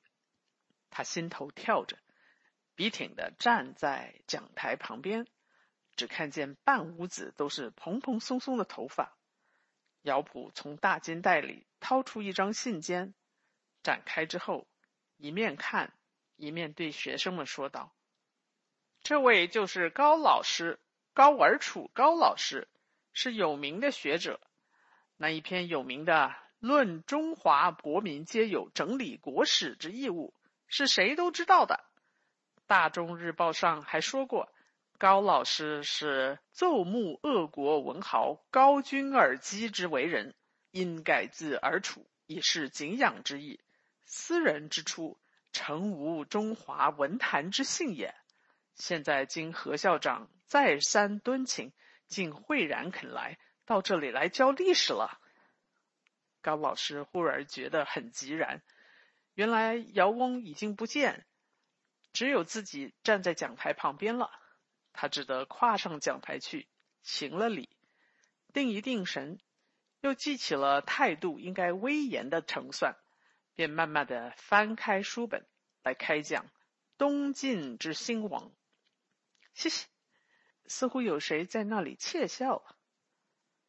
高老夫子脸上顿时一热，忙看书本，和他的画并不错，上面印着的的确是东晋之偏安。书脑的对面也还是半屋子蓬蓬松松的头发，不见有别的动静。他猜想这是自己的疑心，其实谁也没有笑。于是又定一定神，看住书本，慢慢的讲下去。当初是自己的耳朵也听到自己的嘴说些什么的，可是逐渐糊涂起来，竟至于不再知道说什么。待到发挥石勒之雄图的时候，便只听到痴痴的窃笑的声音了。他不禁向讲台下一看，情形和原先已经很不同，半屋子都是眼睛。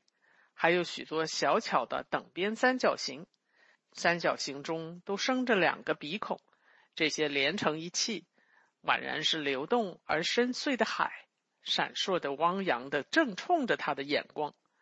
但当他瞥见时，却又骤然一闪，变了半屋子蓬蓬松松的头发了。他也连忙收回眼光，再不敢离开教科书。不得已时。就抬起眼来看看屋顶，屋顶是白而转黄的洋灰，中央还起了一道正圆形的棱线。可是这圆圈又生动了，忽然扩大，忽然收小，使他的眼睛有些昏花。他预料，倘将眼光下移，就不免又要遇见可怕的眼睛和鼻孔联合的海，只好再回到书本上。这时已经是淝水之战。苻坚快要害得草木皆兵了，他总疑心有许多人暗暗的发笑，但还是熬着讲。明明已经讲了大半天，而铃声还没有响。看手表是不行的，怕学生要小觑。可是讲了一会儿，又到拓跋氏之博兴了，接着就是六国兴亡表。他本以为今天未必讲到，没有预备的。他自己觉得讲义忽而终止了。今天是第一天，就是这样吧。他惶惑了一会之后，才断续的说，一面点一点头，画下讲台去，也便出了教室的门。嘻嘻，他似乎听到背后有许多人笑，又仿佛看见这笑声就从那深邃的鼻孔的海里出来，他便惘惘然跨进植物园。向着对面的教员预备室大踏步走，他大吃一惊，至于连中国历史教科书也失手落在地上了，因为脑壳上突然遭了什么东西的一击。他倒退两步，定睛看时，一只腰斜的树枝横在他面前，已被他的头撞得树叶都微微发抖。他赶紧弯腰去拾书本。书旁边竖着一块木牌，上面写“桑桑科”。他似乎听到背后有许多人笑，又仿佛看见这笑声就从那深邃的鼻孔的海里出来，于是也就不好意思去抚摸头上已经疼痛起来的皮肤，只一心跑进教员预备室里去。那里面两个装着白开水的杯子依然，却不见了似死非死的笑意。姚翁也踪影全无了，一切都暗淡，只有他的新皮包和新帽子在暗淡中发亮。看壁上的挂钟，还只有三点四十分。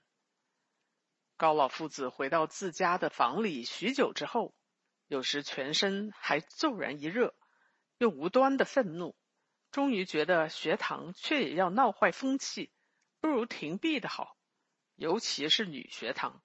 有什么意思呢？喜欢虚荣罢了。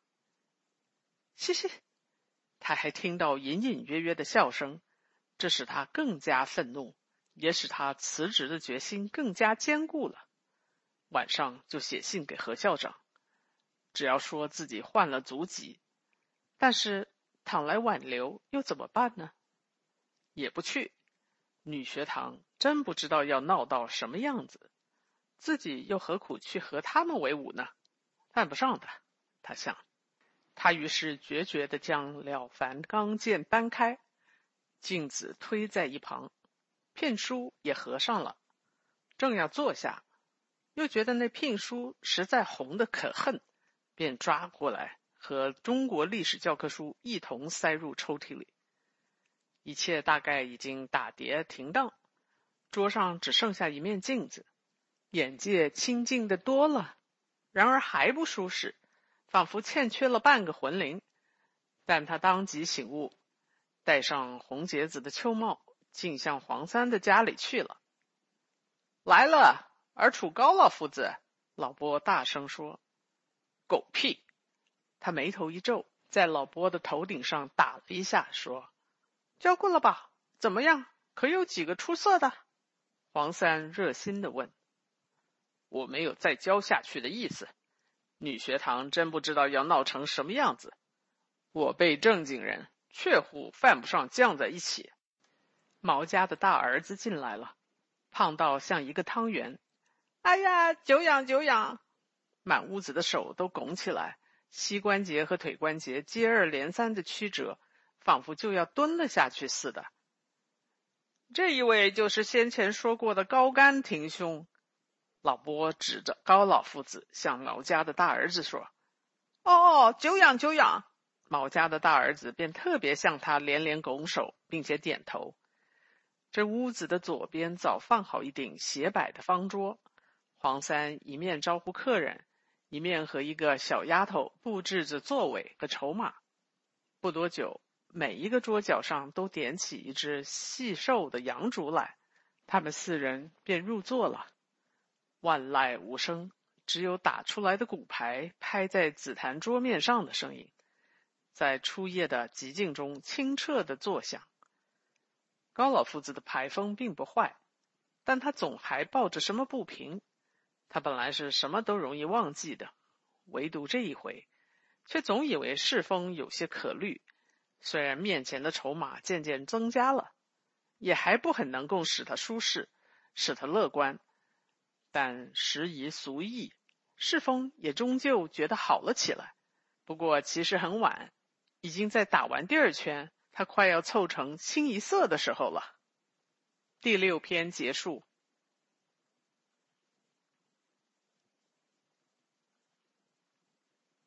彷徨第七篇，这是我为 LibriVox 所做的录音。LibriVox 的录音都是属于公众所有的。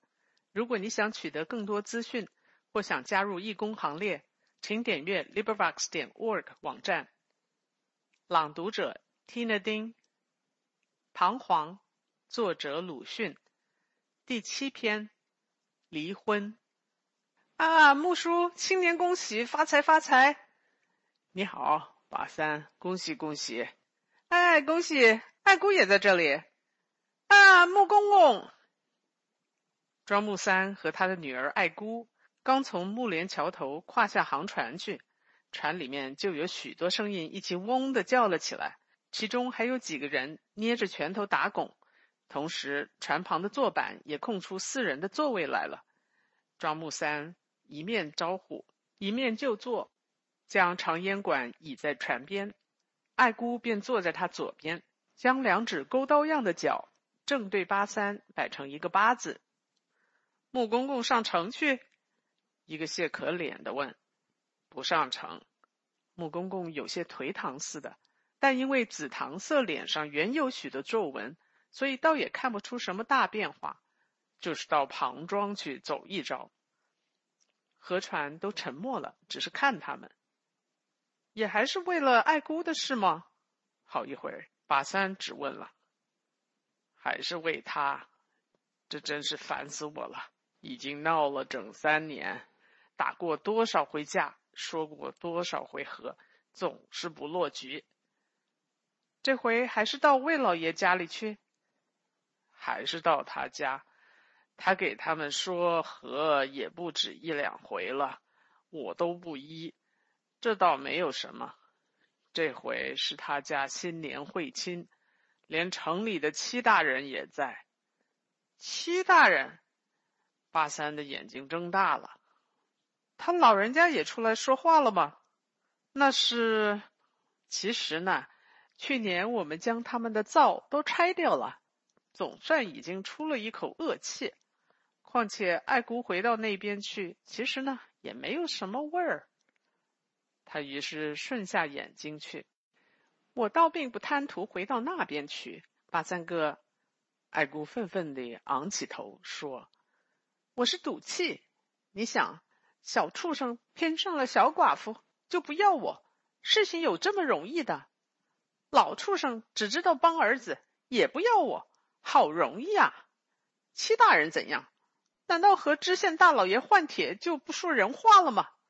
他不能像魏老爷似的不通，只说是走散好，走散好。我倒要对他说说我这几年的艰难，且看七大人说谁不错。八三被说服了，再开不得口，只有潺潺的船头积水声，船里很静寂。庄木三伸手去摸烟管，装上烟，斜对面。挨巴山坐着的一个胖子，便从肚兜里掏出一柄打火刀，打着火线，给他按在烟斗上。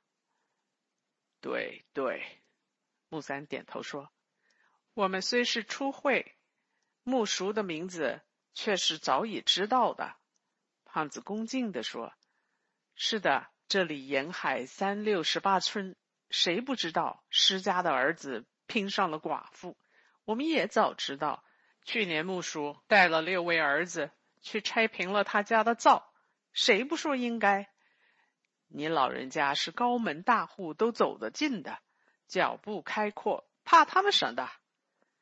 您这位阿叔真通气。爱姑高兴地说：“我虽然不认识你这位阿叔是谁，我叫汪德贵。”胖子连忙说：“要撇掉我是不行的，七大人也好，八大人也好。”我总要闹得他们家败人亡。魏老爷不是劝过我四回吗？连爹也看得赔贴的钱有点头昏眼热了。你这妈的！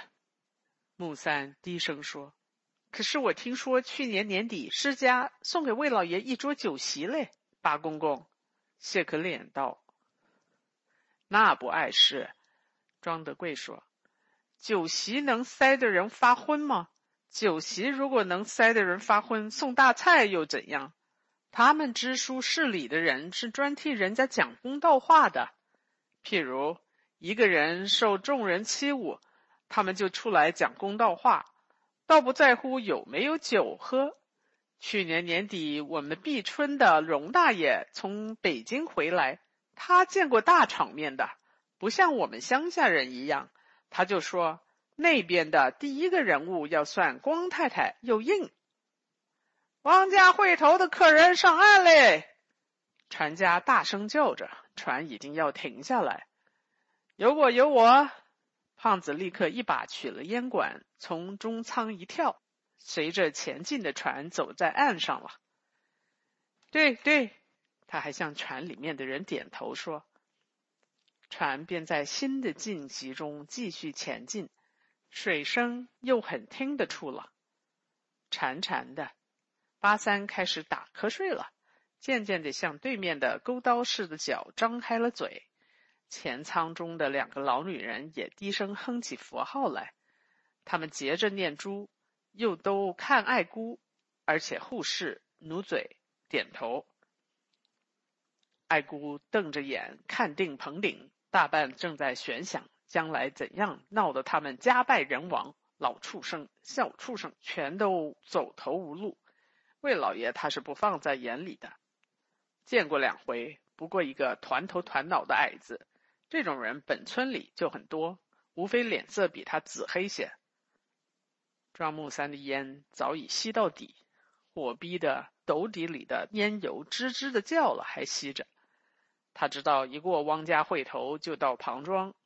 而且那村口的魁星阁也确乎已经望得见，庞庄他到过许多回，不足道的，以及魏老爷，他还记得女儿的哭回来，他的亲家和女婿的可恶，后来给他们怎样的吃亏，想到这里，过去的情景便在眼前展开，一到惩治他亲家这一局，他向来是要冷冷的微笑的，但这回却不。不知怎的，忽而横梗着一个胖胖的七大人，将他脑里的局面挤得摆不整齐了。船在继续的寂静中继续前进，独有念佛声却宏大起来。此外，一切都似乎陪着木叔和爱姑一同浸在沉思里。木叔，您老上岸吧，庞庄到了。木三他们被船家的声音警觉时，面前已是魁星阁了。他跳上岸，爱姑跟着，经过魁星阁下，向着魏老爷家走，朝南走过三十家门面，再转一个弯就到了。早望见门口一列的泊着四只乌篷船。他们踏进黑油大门时，便被邀进门房去。大门后已经坐满着两桌船夫和常年。爱姑不敢看他们，只是溜了一眼，倒也不见有老畜生和小畜生的踪迹。当工人搬出年糕汤来时，爱姑不由得越加局促不安起来，连自己也不明白为什么。难道和知县大老爷换帖就不说人话吗？他想，这处市里的人是讲公道话的，我要细细的对戚大人说一说。从十五岁嫁过去做媳妇的时候起，他喝完年糕汤，直到时机将到。果然，不一会，他已经跟着一个常年和他父亲经过大厅，又一弯跨进客厅的门槛去了。客厅里有许多东西，他不及细看，还有许多客。只见红青缎子马褂发闪，在这些中间，第一眼就看见一个人，这一定是戚大人了。虽然也是团头团脑，却比魏老爷们魁梧得多。大的圆脸上长着两条细眼和漆黑的细胡须，头顶是秃的，可是那脑壳和脸都很红润，油光光的发亮。爱姑很觉得稀奇，但也立刻自己解释明白了，那一定是擦着猪油的。这就是屁腮。这是古人大练的时候塞在屁股眼里的。戚大人正拿着一条烂石似的东西说着，又在自己的鼻子旁擦了两擦，接着道：“可惜是新坑，倒也可以买的。智池是汉，你看这一点是水银镜。水银镜周围即刻聚集了几个头，一个自然是魏老爷，还有几位少爷们。”因为被微光压得像扁臭虫了，爱姑先前竟没有见。他不懂后一段话，无意，而且也不敢去研究什么水银镜，便偷空向四处一看望，只见他后面紧挨着门旁的墙壁，正站着老畜生和小畜生。虽然只一瞥，但较之半年前偶然看见的时候，分明都见得苍老了。接着大家。就都从水银镜周围散开。魏老爷接过屁塞，坐下，用指头摩搓着，转脸向庄木三说话：“就是你们两个吗？”“是的。”“你的儿子一个也没有来？”“他们没有功夫。”“本来新年正月又何必来劳动你们？但是，还是只为那件事。我想你们也闹得够了。”不是已经有两年多了吗？我想冤仇是宜解不宜结的。爱姑既然丈夫不对，公婆不喜欢，也还是照先前说过那样走散的好。我没有这么大面子，说不通。戚大人是最爱讲公道话的，你们也知道。现在戚大人的意思也这样，和我一样。可是戚大人说两面都认点晦气吧。叫施家再添十块钱，九十元。九十元，你就是打官司打到皇帝伯伯跟前，也没有这么便宜。这话只有我们的戚大人肯说。戚大人睁起细眼看着庄木三，点点头。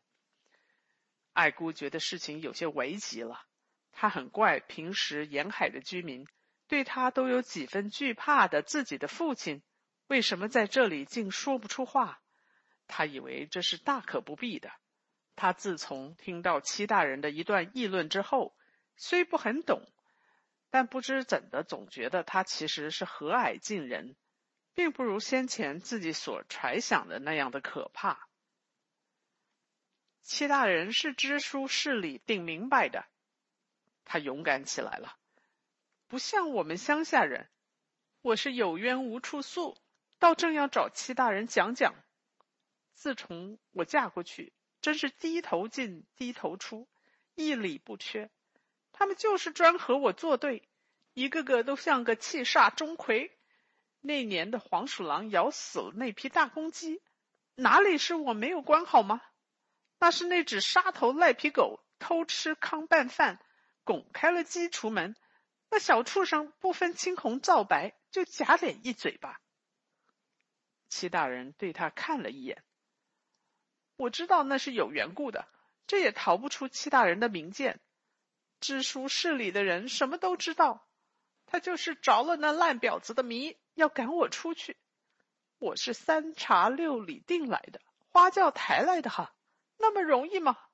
我一定要给他们一个颜色看。就是打官司也不要紧，县里不行，还有府里呢。那些事是戚大人都知道的。魏老爷扬起脸来说：“二姑，你要是不转头，没有什么便宜的。你就总是这模样。你看你的爹多少明白，你和你的弟兄都不像他。打官司打到府里，难道官府就不会问问戚大人吗？那时候是公事公办。”那是你简直，那我就拼出一条命，大家家败人亡。那倒并不是拼命的事。齐大人这才慢慢的说了：“年纪轻轻，一个人总要和气些，和气生财，对不对？我一天就是十块，那简直已经是天外道理了。要不然，公婆说走就得走，莫说府里。”就是上海、北京，就是外洋都这样。你要不信，他就是刚从北京洋学堂里回来的，自己问他去。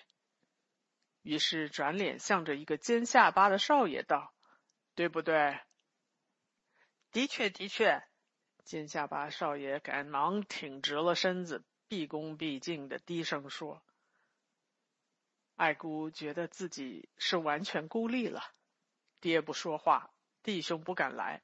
魏老爷是原本帮他们的，戚大人又不可靠，连尖下巴少爷也低声下气的像一个扁臭虫，还打顺风锣。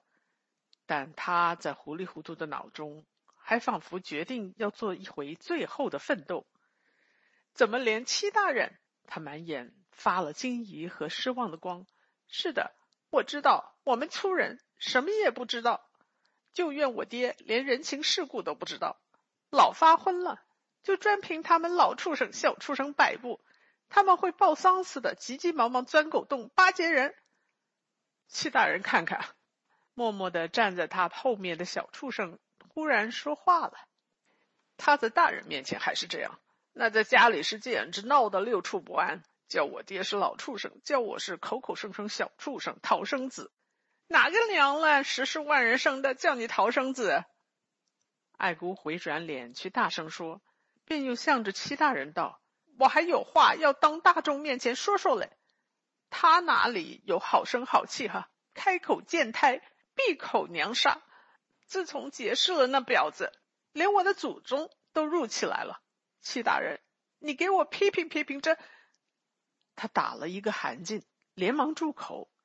因为他看见戚大人忽然两眼向上一翻，圆脸一仰，细长胡子围着的嘴里同时发出一种高大摇曳的声音来了。来兮！戚大人说，他觉得心脏一停，接着便突突的乱跳，似乎大势已去，局面都变了，仿佛失足掉在水里一般，但又知道。这实在是自己错。立刻进来一个蓝袍子、黑背心的男人，对齐大人站定，垂手挺腰，像一根木棍。全客厅里是鸦雀无声。齐大人将嘴一动，但谁也听不清说什么。然而那男人却已经听到了，而且这命令的力量仿佛又已钻进了他的骨髓里。将身子牵了两牵，毛骨悚然似的，一面答应道：“是。”他倒退了几步，才翻身走出去。爱姑知道意外的事情就要到来，那事情是万料不到也防不了的。他这时才又知道戚大人实在威严，先前都是自己的误解，所以太放肆、太粗鲁了。他非常后悔，不由得自己说：“我本来是专听戚大人吩咐。”全客厅里是鸦雀无声。他的话虽然维系的如丝，魏老爷却像听到霹雳似的了。他跳了起来：“对呀，戚大人也真公平，爱姑也真明白。”他夸赞着，便向庄木三：“老穆，那你自然是没有什么说的了。他自己已经答应。我想你红绿帖是一定已经带来了的，我通知过你。”那么大家都拿出来。爱姑见他爹，便伸手到肚兜里去掏东西。木棍似的那男人也进来了，将小乌龟模样的一个漆黑的扁的小东西递给齐大人。爱姑怕事情有变故，连忙去看庄木三，见他已经在茶几上打开一个蓝布包裹，取出洋钱来。齐大人也将小木龟头拔下，从那身子里面倒一点东西在针心上。木棍似的男人便接了那扁东西去。齐大人随即用那一只手的一个指头蘸着掌心，向自己的鼻孔里塞了两塞，鼻孔和人中立刻黄焦焦了。他皱着鼻子，似乎要打喷嚏。庄木三正在数洋钱。魏老爷从那儿没有数过的一叠里取出一点来，交还了老畜生，又将两份红绿帖子互换了地方，推给两面，嘴里说道：“你们都收好，老木，你要点清数目啊，这不是好当玩意儿的银钱事情。”阿秋的一声响，爱姑明知道是戚大人打喷嚏了，但不由得转过眼去看。只见戚大人张着嘴，仍旧在那里皱鼻子，一只手的两个指头却搓着一件东西，就是那古人大练的时候塞在屁股眼里的，在鼻子旁边摩擦着。好容易，庄三点清了洋钱，两方面各将红绿帖子收起，大家的腰骨都似乎直得多，原先收紧着的脸相也宽卸下来。全客厅顿然见得一团和气了。好，事情是圆工了。魏老爷看见他们两面都显出告别的神气，便吐一口气说：“那么，翁再没有什么别的了。恭喜大吉，总算解了一个结。你们要走了吗？不要走，在我们家里喝了新年喜酒去，这是难得的。我们不喝了，存着。”明年再来喝吧，爱姑说：“谢谢魏老爷，我们不喝了，我们还有事情。”庄木三、老畜生和小畜生都说着，恭恭敬敬的退出去。哦，怎么不喝一点去吗？魏老爷还注视着走在最后的爱姑说：“是的，不喝了，谢谢魏老爷。”第七篇结束。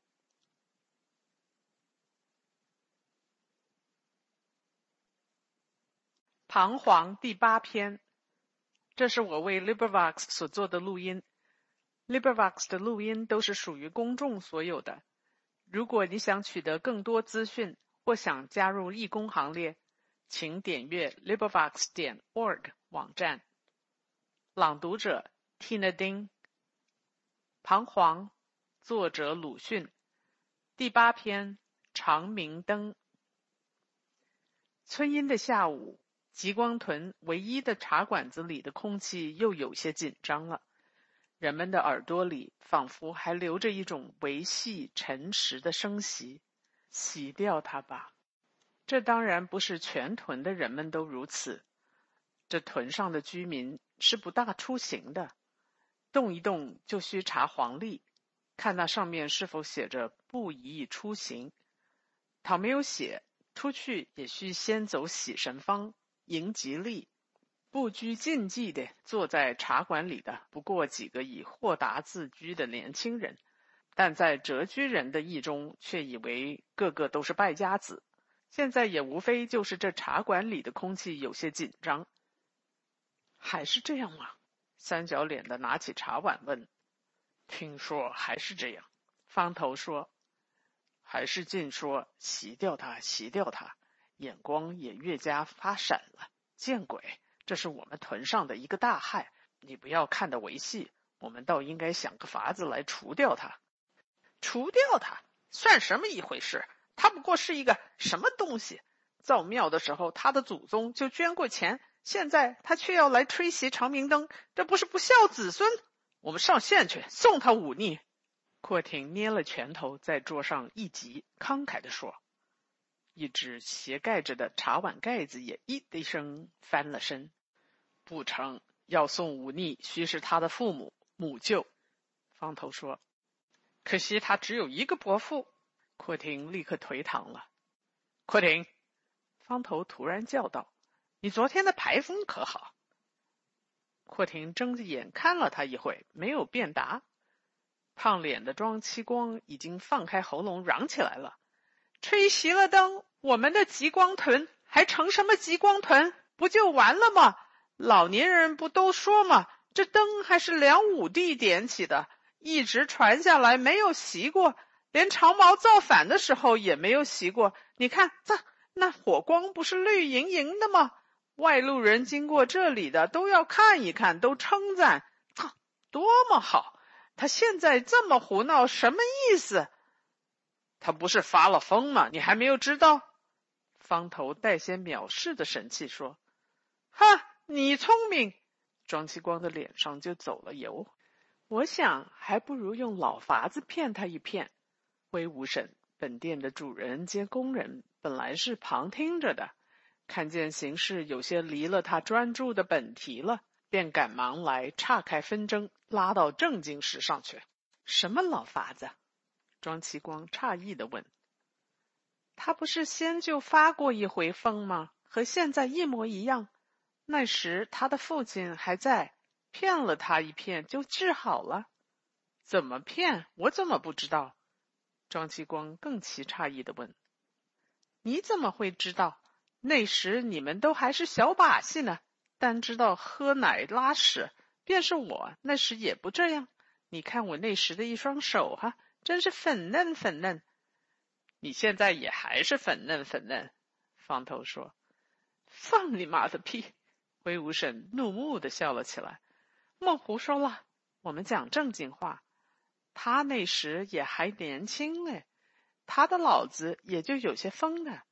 听说有一天，他的祖父带他进社庙去，叫他拜社老爷、温将军、王灵官老爷，他就害怕了。”应不败，跑了出来，从此便有些怪。后来就像现在一样，一见人总和他们商量吹熄正殿上的长明灯。他说熄了，便再不会有蝗虫和病痛，真是像一件天大的正事似的。大约那是邪祟附了体，怕见正路神道了。要是我们会怕见世老爷吗？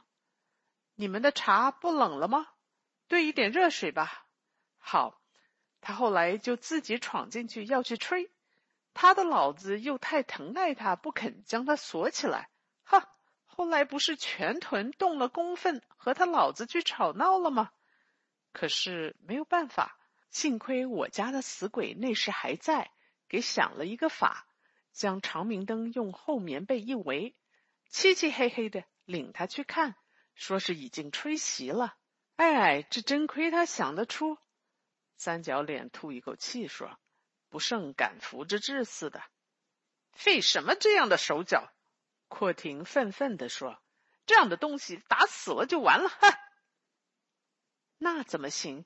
他吃惊的看着他，连忙摇手道：“那怎么行？他的祖父不是捏过印把子着的吗？”阔廷们立刻面面相觑，觉得除了死鬼的妙法以外，也委实无法可想了。后来就好了的，他又用手背抹去一些嘴角上的白沫，更快的说：“后来全好了的。他从此也就不再走进庙门去，也不再提起什么来。许多年，不知道怎么这回看了赛会之后，不多几天又疯了起来了。哦，同先前一模一样。午后他就走过这里，一定又上庙里去了。你们和四爷商量商量去，还是再骗他一骗好？那灯不是梁武帝点起来的吗？不是说那灯一灭，这里就要变海，我们就都要变泥鳅吗？你们快去和四爷商量商量吧，要不，我们还是先到庙前去看一看。方头说着，便轩昂地出了门。阔亭和庄其光也跟着出去了。三角脸走的最后，将到门口，回过头来说道：“这回就记了我的账，入他。”挥舞神答应着，走到东墙下，拾起一块木炭来，就在墙上画有一个小三角形和一串短短的细线的下面，画添了两条线。他们望见社庙的时候。果然一并看到了几个人，一个正是他，两个是闲看的，三个是孩子，但庙门却紧紧的关着。好，庙门还关着。霍廷高兴地说：“他们一走近，孩子们似乎也都胆壮，围进去了。本来对了庙门立着的他，也转过脸来对他们看。他也还如平常一样，黄的方脸和蓝布破大衫。”只在浓眉底下的大而且长的眼睛中，略带些异样的光闪，看人就许多功夫不眨眼，并且总含着悲愤疑惧的神情。短的头发上粘着两片稻草叶，那该是孩子暗暗的从背后给他放上去的，因为他们向他头上一看之后，就都缩了颈子，笑着将舌头很快的一伸。他们站定了。个人都互看着别个的脸。你干什么？但三角脸终于走上一步，诘问了：“我叫老黑开门。”他低声温和的说：“就因为那一盏灯必须吹熄。你看，三头六臂的蓝脸，三只眼睛，长帽，半个的头，牛头和猪牙齿都应该吹熄，吹熄。”吹熄，我们就不会有蝗虫，会有猪嘴瘟。嘿嘿，胡闹！关婷轻蔑的笑了出来。你吹熄了灯，蝗虫会还要多，你就要生猪嘴瘟。嘻嘻，庄启光也陪着笑。一个赤膊孩子擎起他玩弄着的尾子，对他瞄准着，将樱桃似的小口一张，道：“啊，你还是回去吧。”倘不，你的伯伯会打断你的骨头。灯嘛，我替你吹，你过几天来看就知道。霍廷大声说，他两眼更发出闪闪的光来，钉一般看定霍廷的眼，使霍廷的眼光赶紧屁了。你吹？他嘲笑似的微笑，但接着就坚定的说：“不能，不要你们，我自己去洗，此刻去洗。”阔廷便立刻颓唐的酒醒之后似的无力，方头却已站上去了，慢慢的说道：“你是一向懂事的，这一回可是太糊涂了，让我来开导你吧。你也许能够明白，就是吹熄了灯，那些东西不是还在吗？不要这么傻头傻脑了，还是回去睡觉去。我知道嘛。”齐了也还在。他忽又现出阴鸷的笑容，但是立即收敛了，诚实的说道：“然而我只能姑且这么办。我先来这么办容易些，我就要吹熄他，自己熄。”他说着，一面就转过身去，竭力的推庙门。喂，阔廷生气了：“你不是这里的人吗？你一定要我们大家变泥鳅吗？回去。”你推不开的，你没有法子开的，吹不熄的，还是回去好。我不回去，我要吹熄它。不成，你没法开，你没法开，那么就用别的法子来。他转脸向他们一瞥，沉静的说：“哼，看你有什么别的法，看你有什么别的法。我放火。什么？阔廷疑心自己没有听清楚。我放火。沉默像一声轻磬，摇曳着尾声。周围的活物都在其中凝结了。但不一会，就有几个人交头接耳；不一会，又都退了开去。两三人又在略远的地方站住了。庙后面的墙外，就有庄启光的声音喊道：“老黑呀，不对了，你庙门要关得紧。老黑啊，你听清了吗？关得紧，我们去想了法子就来。”但他似乎并不留心别的事。只闪烁着狂热的眼光，在地上，在空中，在人身上迅速的搜查，仿佛想要寻活种。方头和阔亭在几家的大门里穿梭一般出入了一通之后，极光屯全局顿然扰动了。许多人们的耳朵里、心里都有了一个可怕的声音：放火。但自然还有多少更深的谪居人的耳朵里、心里是全没有。然而，全屯的空气也就紧张起来。凡有感得这紧张的人们都很不安，仿佛自己就要变成泥鳅，天下从此毁灭。他们自然也隐约知道，毁灭的不过是极光屯，但也觉得极光屯似乎就是天下。这事件的中枢不久就凑在四爷的客厅上了。坐在首座上的是年高德少的郭老娃。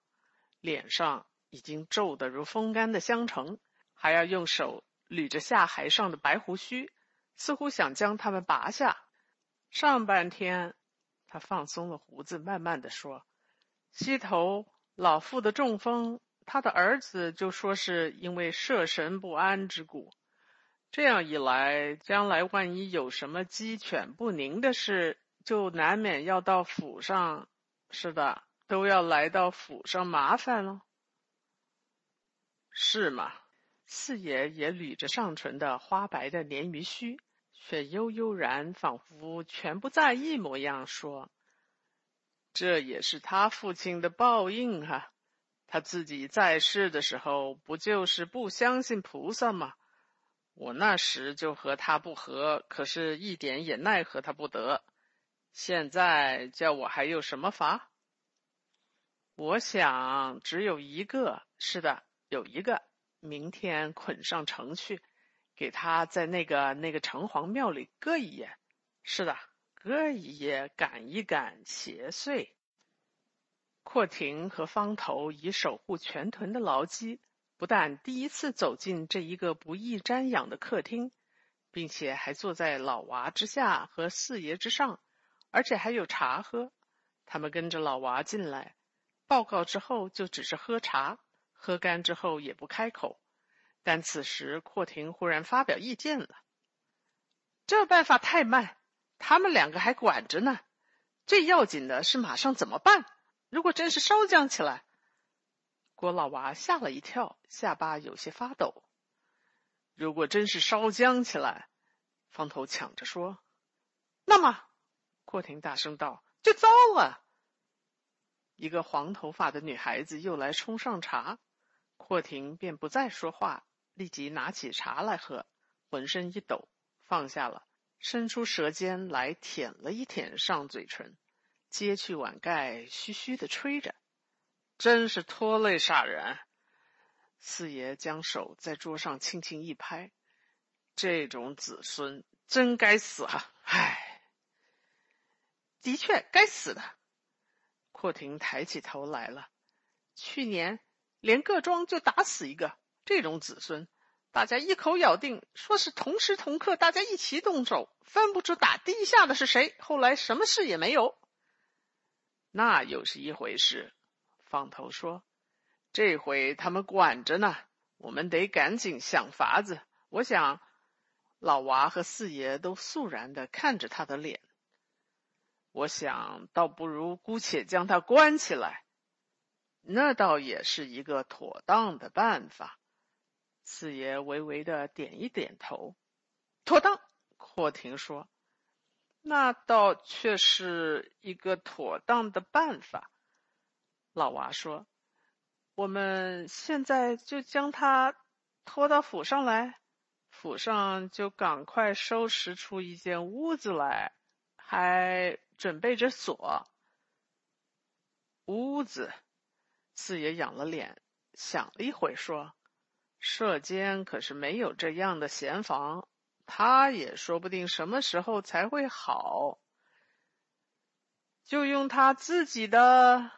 老娃说：“我家的六顺。”四爷忽然严肃而且悲哀的说，声音也有些发抖了：“秋天就要娶亲。”你看他年纪这么大了，单知道发疯，不肯成家立业。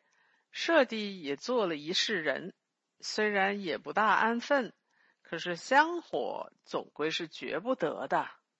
那自然，三个人异口同音的说：“六顺生了儿子，我想第二个就可以过继给他。但是别人的儿子可以白要的吗？”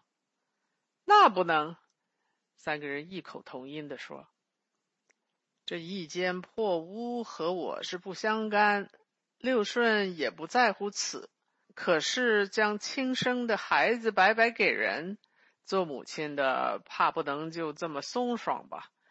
那自然，三个人异口同音的说。四爷沉默了，三个人交互看着别人的脸。我是天天盼望他好起来。四爷在暂时静默之后，这才缓缓的说：“可是他总不好，也不是不好，是他自己不要好，无法可想。就照这一位所说似的关系来，免得害人，出他父亲的丑，也许倒反好，倒是对得起他的父亲。那自然。”阔亭感动的说：“可是房子，庙里就没有闲房？”四爷慢腾腾的问道。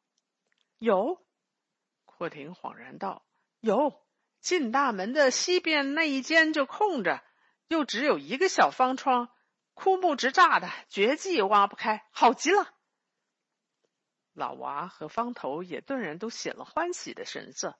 霍廷吐一口气。尖着嘴唇就喝茶，未到黄昏时分，天下已经太平，或者竟是全都忘却了。人们的脸上不特意不紧张，并且早褪尽了先前的喜悦的痕迹。在庙前，人们的足迹自然比平日多，但不久也就稀少了。只因为关了几天门，孩子们不能进去玩，便觉得这一天在院子里格外玩的有趣。吃过了晚饭，还有几个跑到庙里去游戏猜谜。你猜，一个最大的说：“我再说一遍，白篷船，红画集，摇到对岸歇一歇，点心吃一些，戏文唱一出。那是什么呢？红画集的。”一个女孩说：“我说出来吧，那是慢一慢。”生赖头疮的说：“我猜着了，航船。航船。”赤膊的也道：“哈，航船。”最大的道：“航船是摇橹的，他会唱戏文吗？你们猜不着，我说出来吧。慢一慢。”赖头疮还说：“哼，你猜不着，我说出来吧。那是鹅。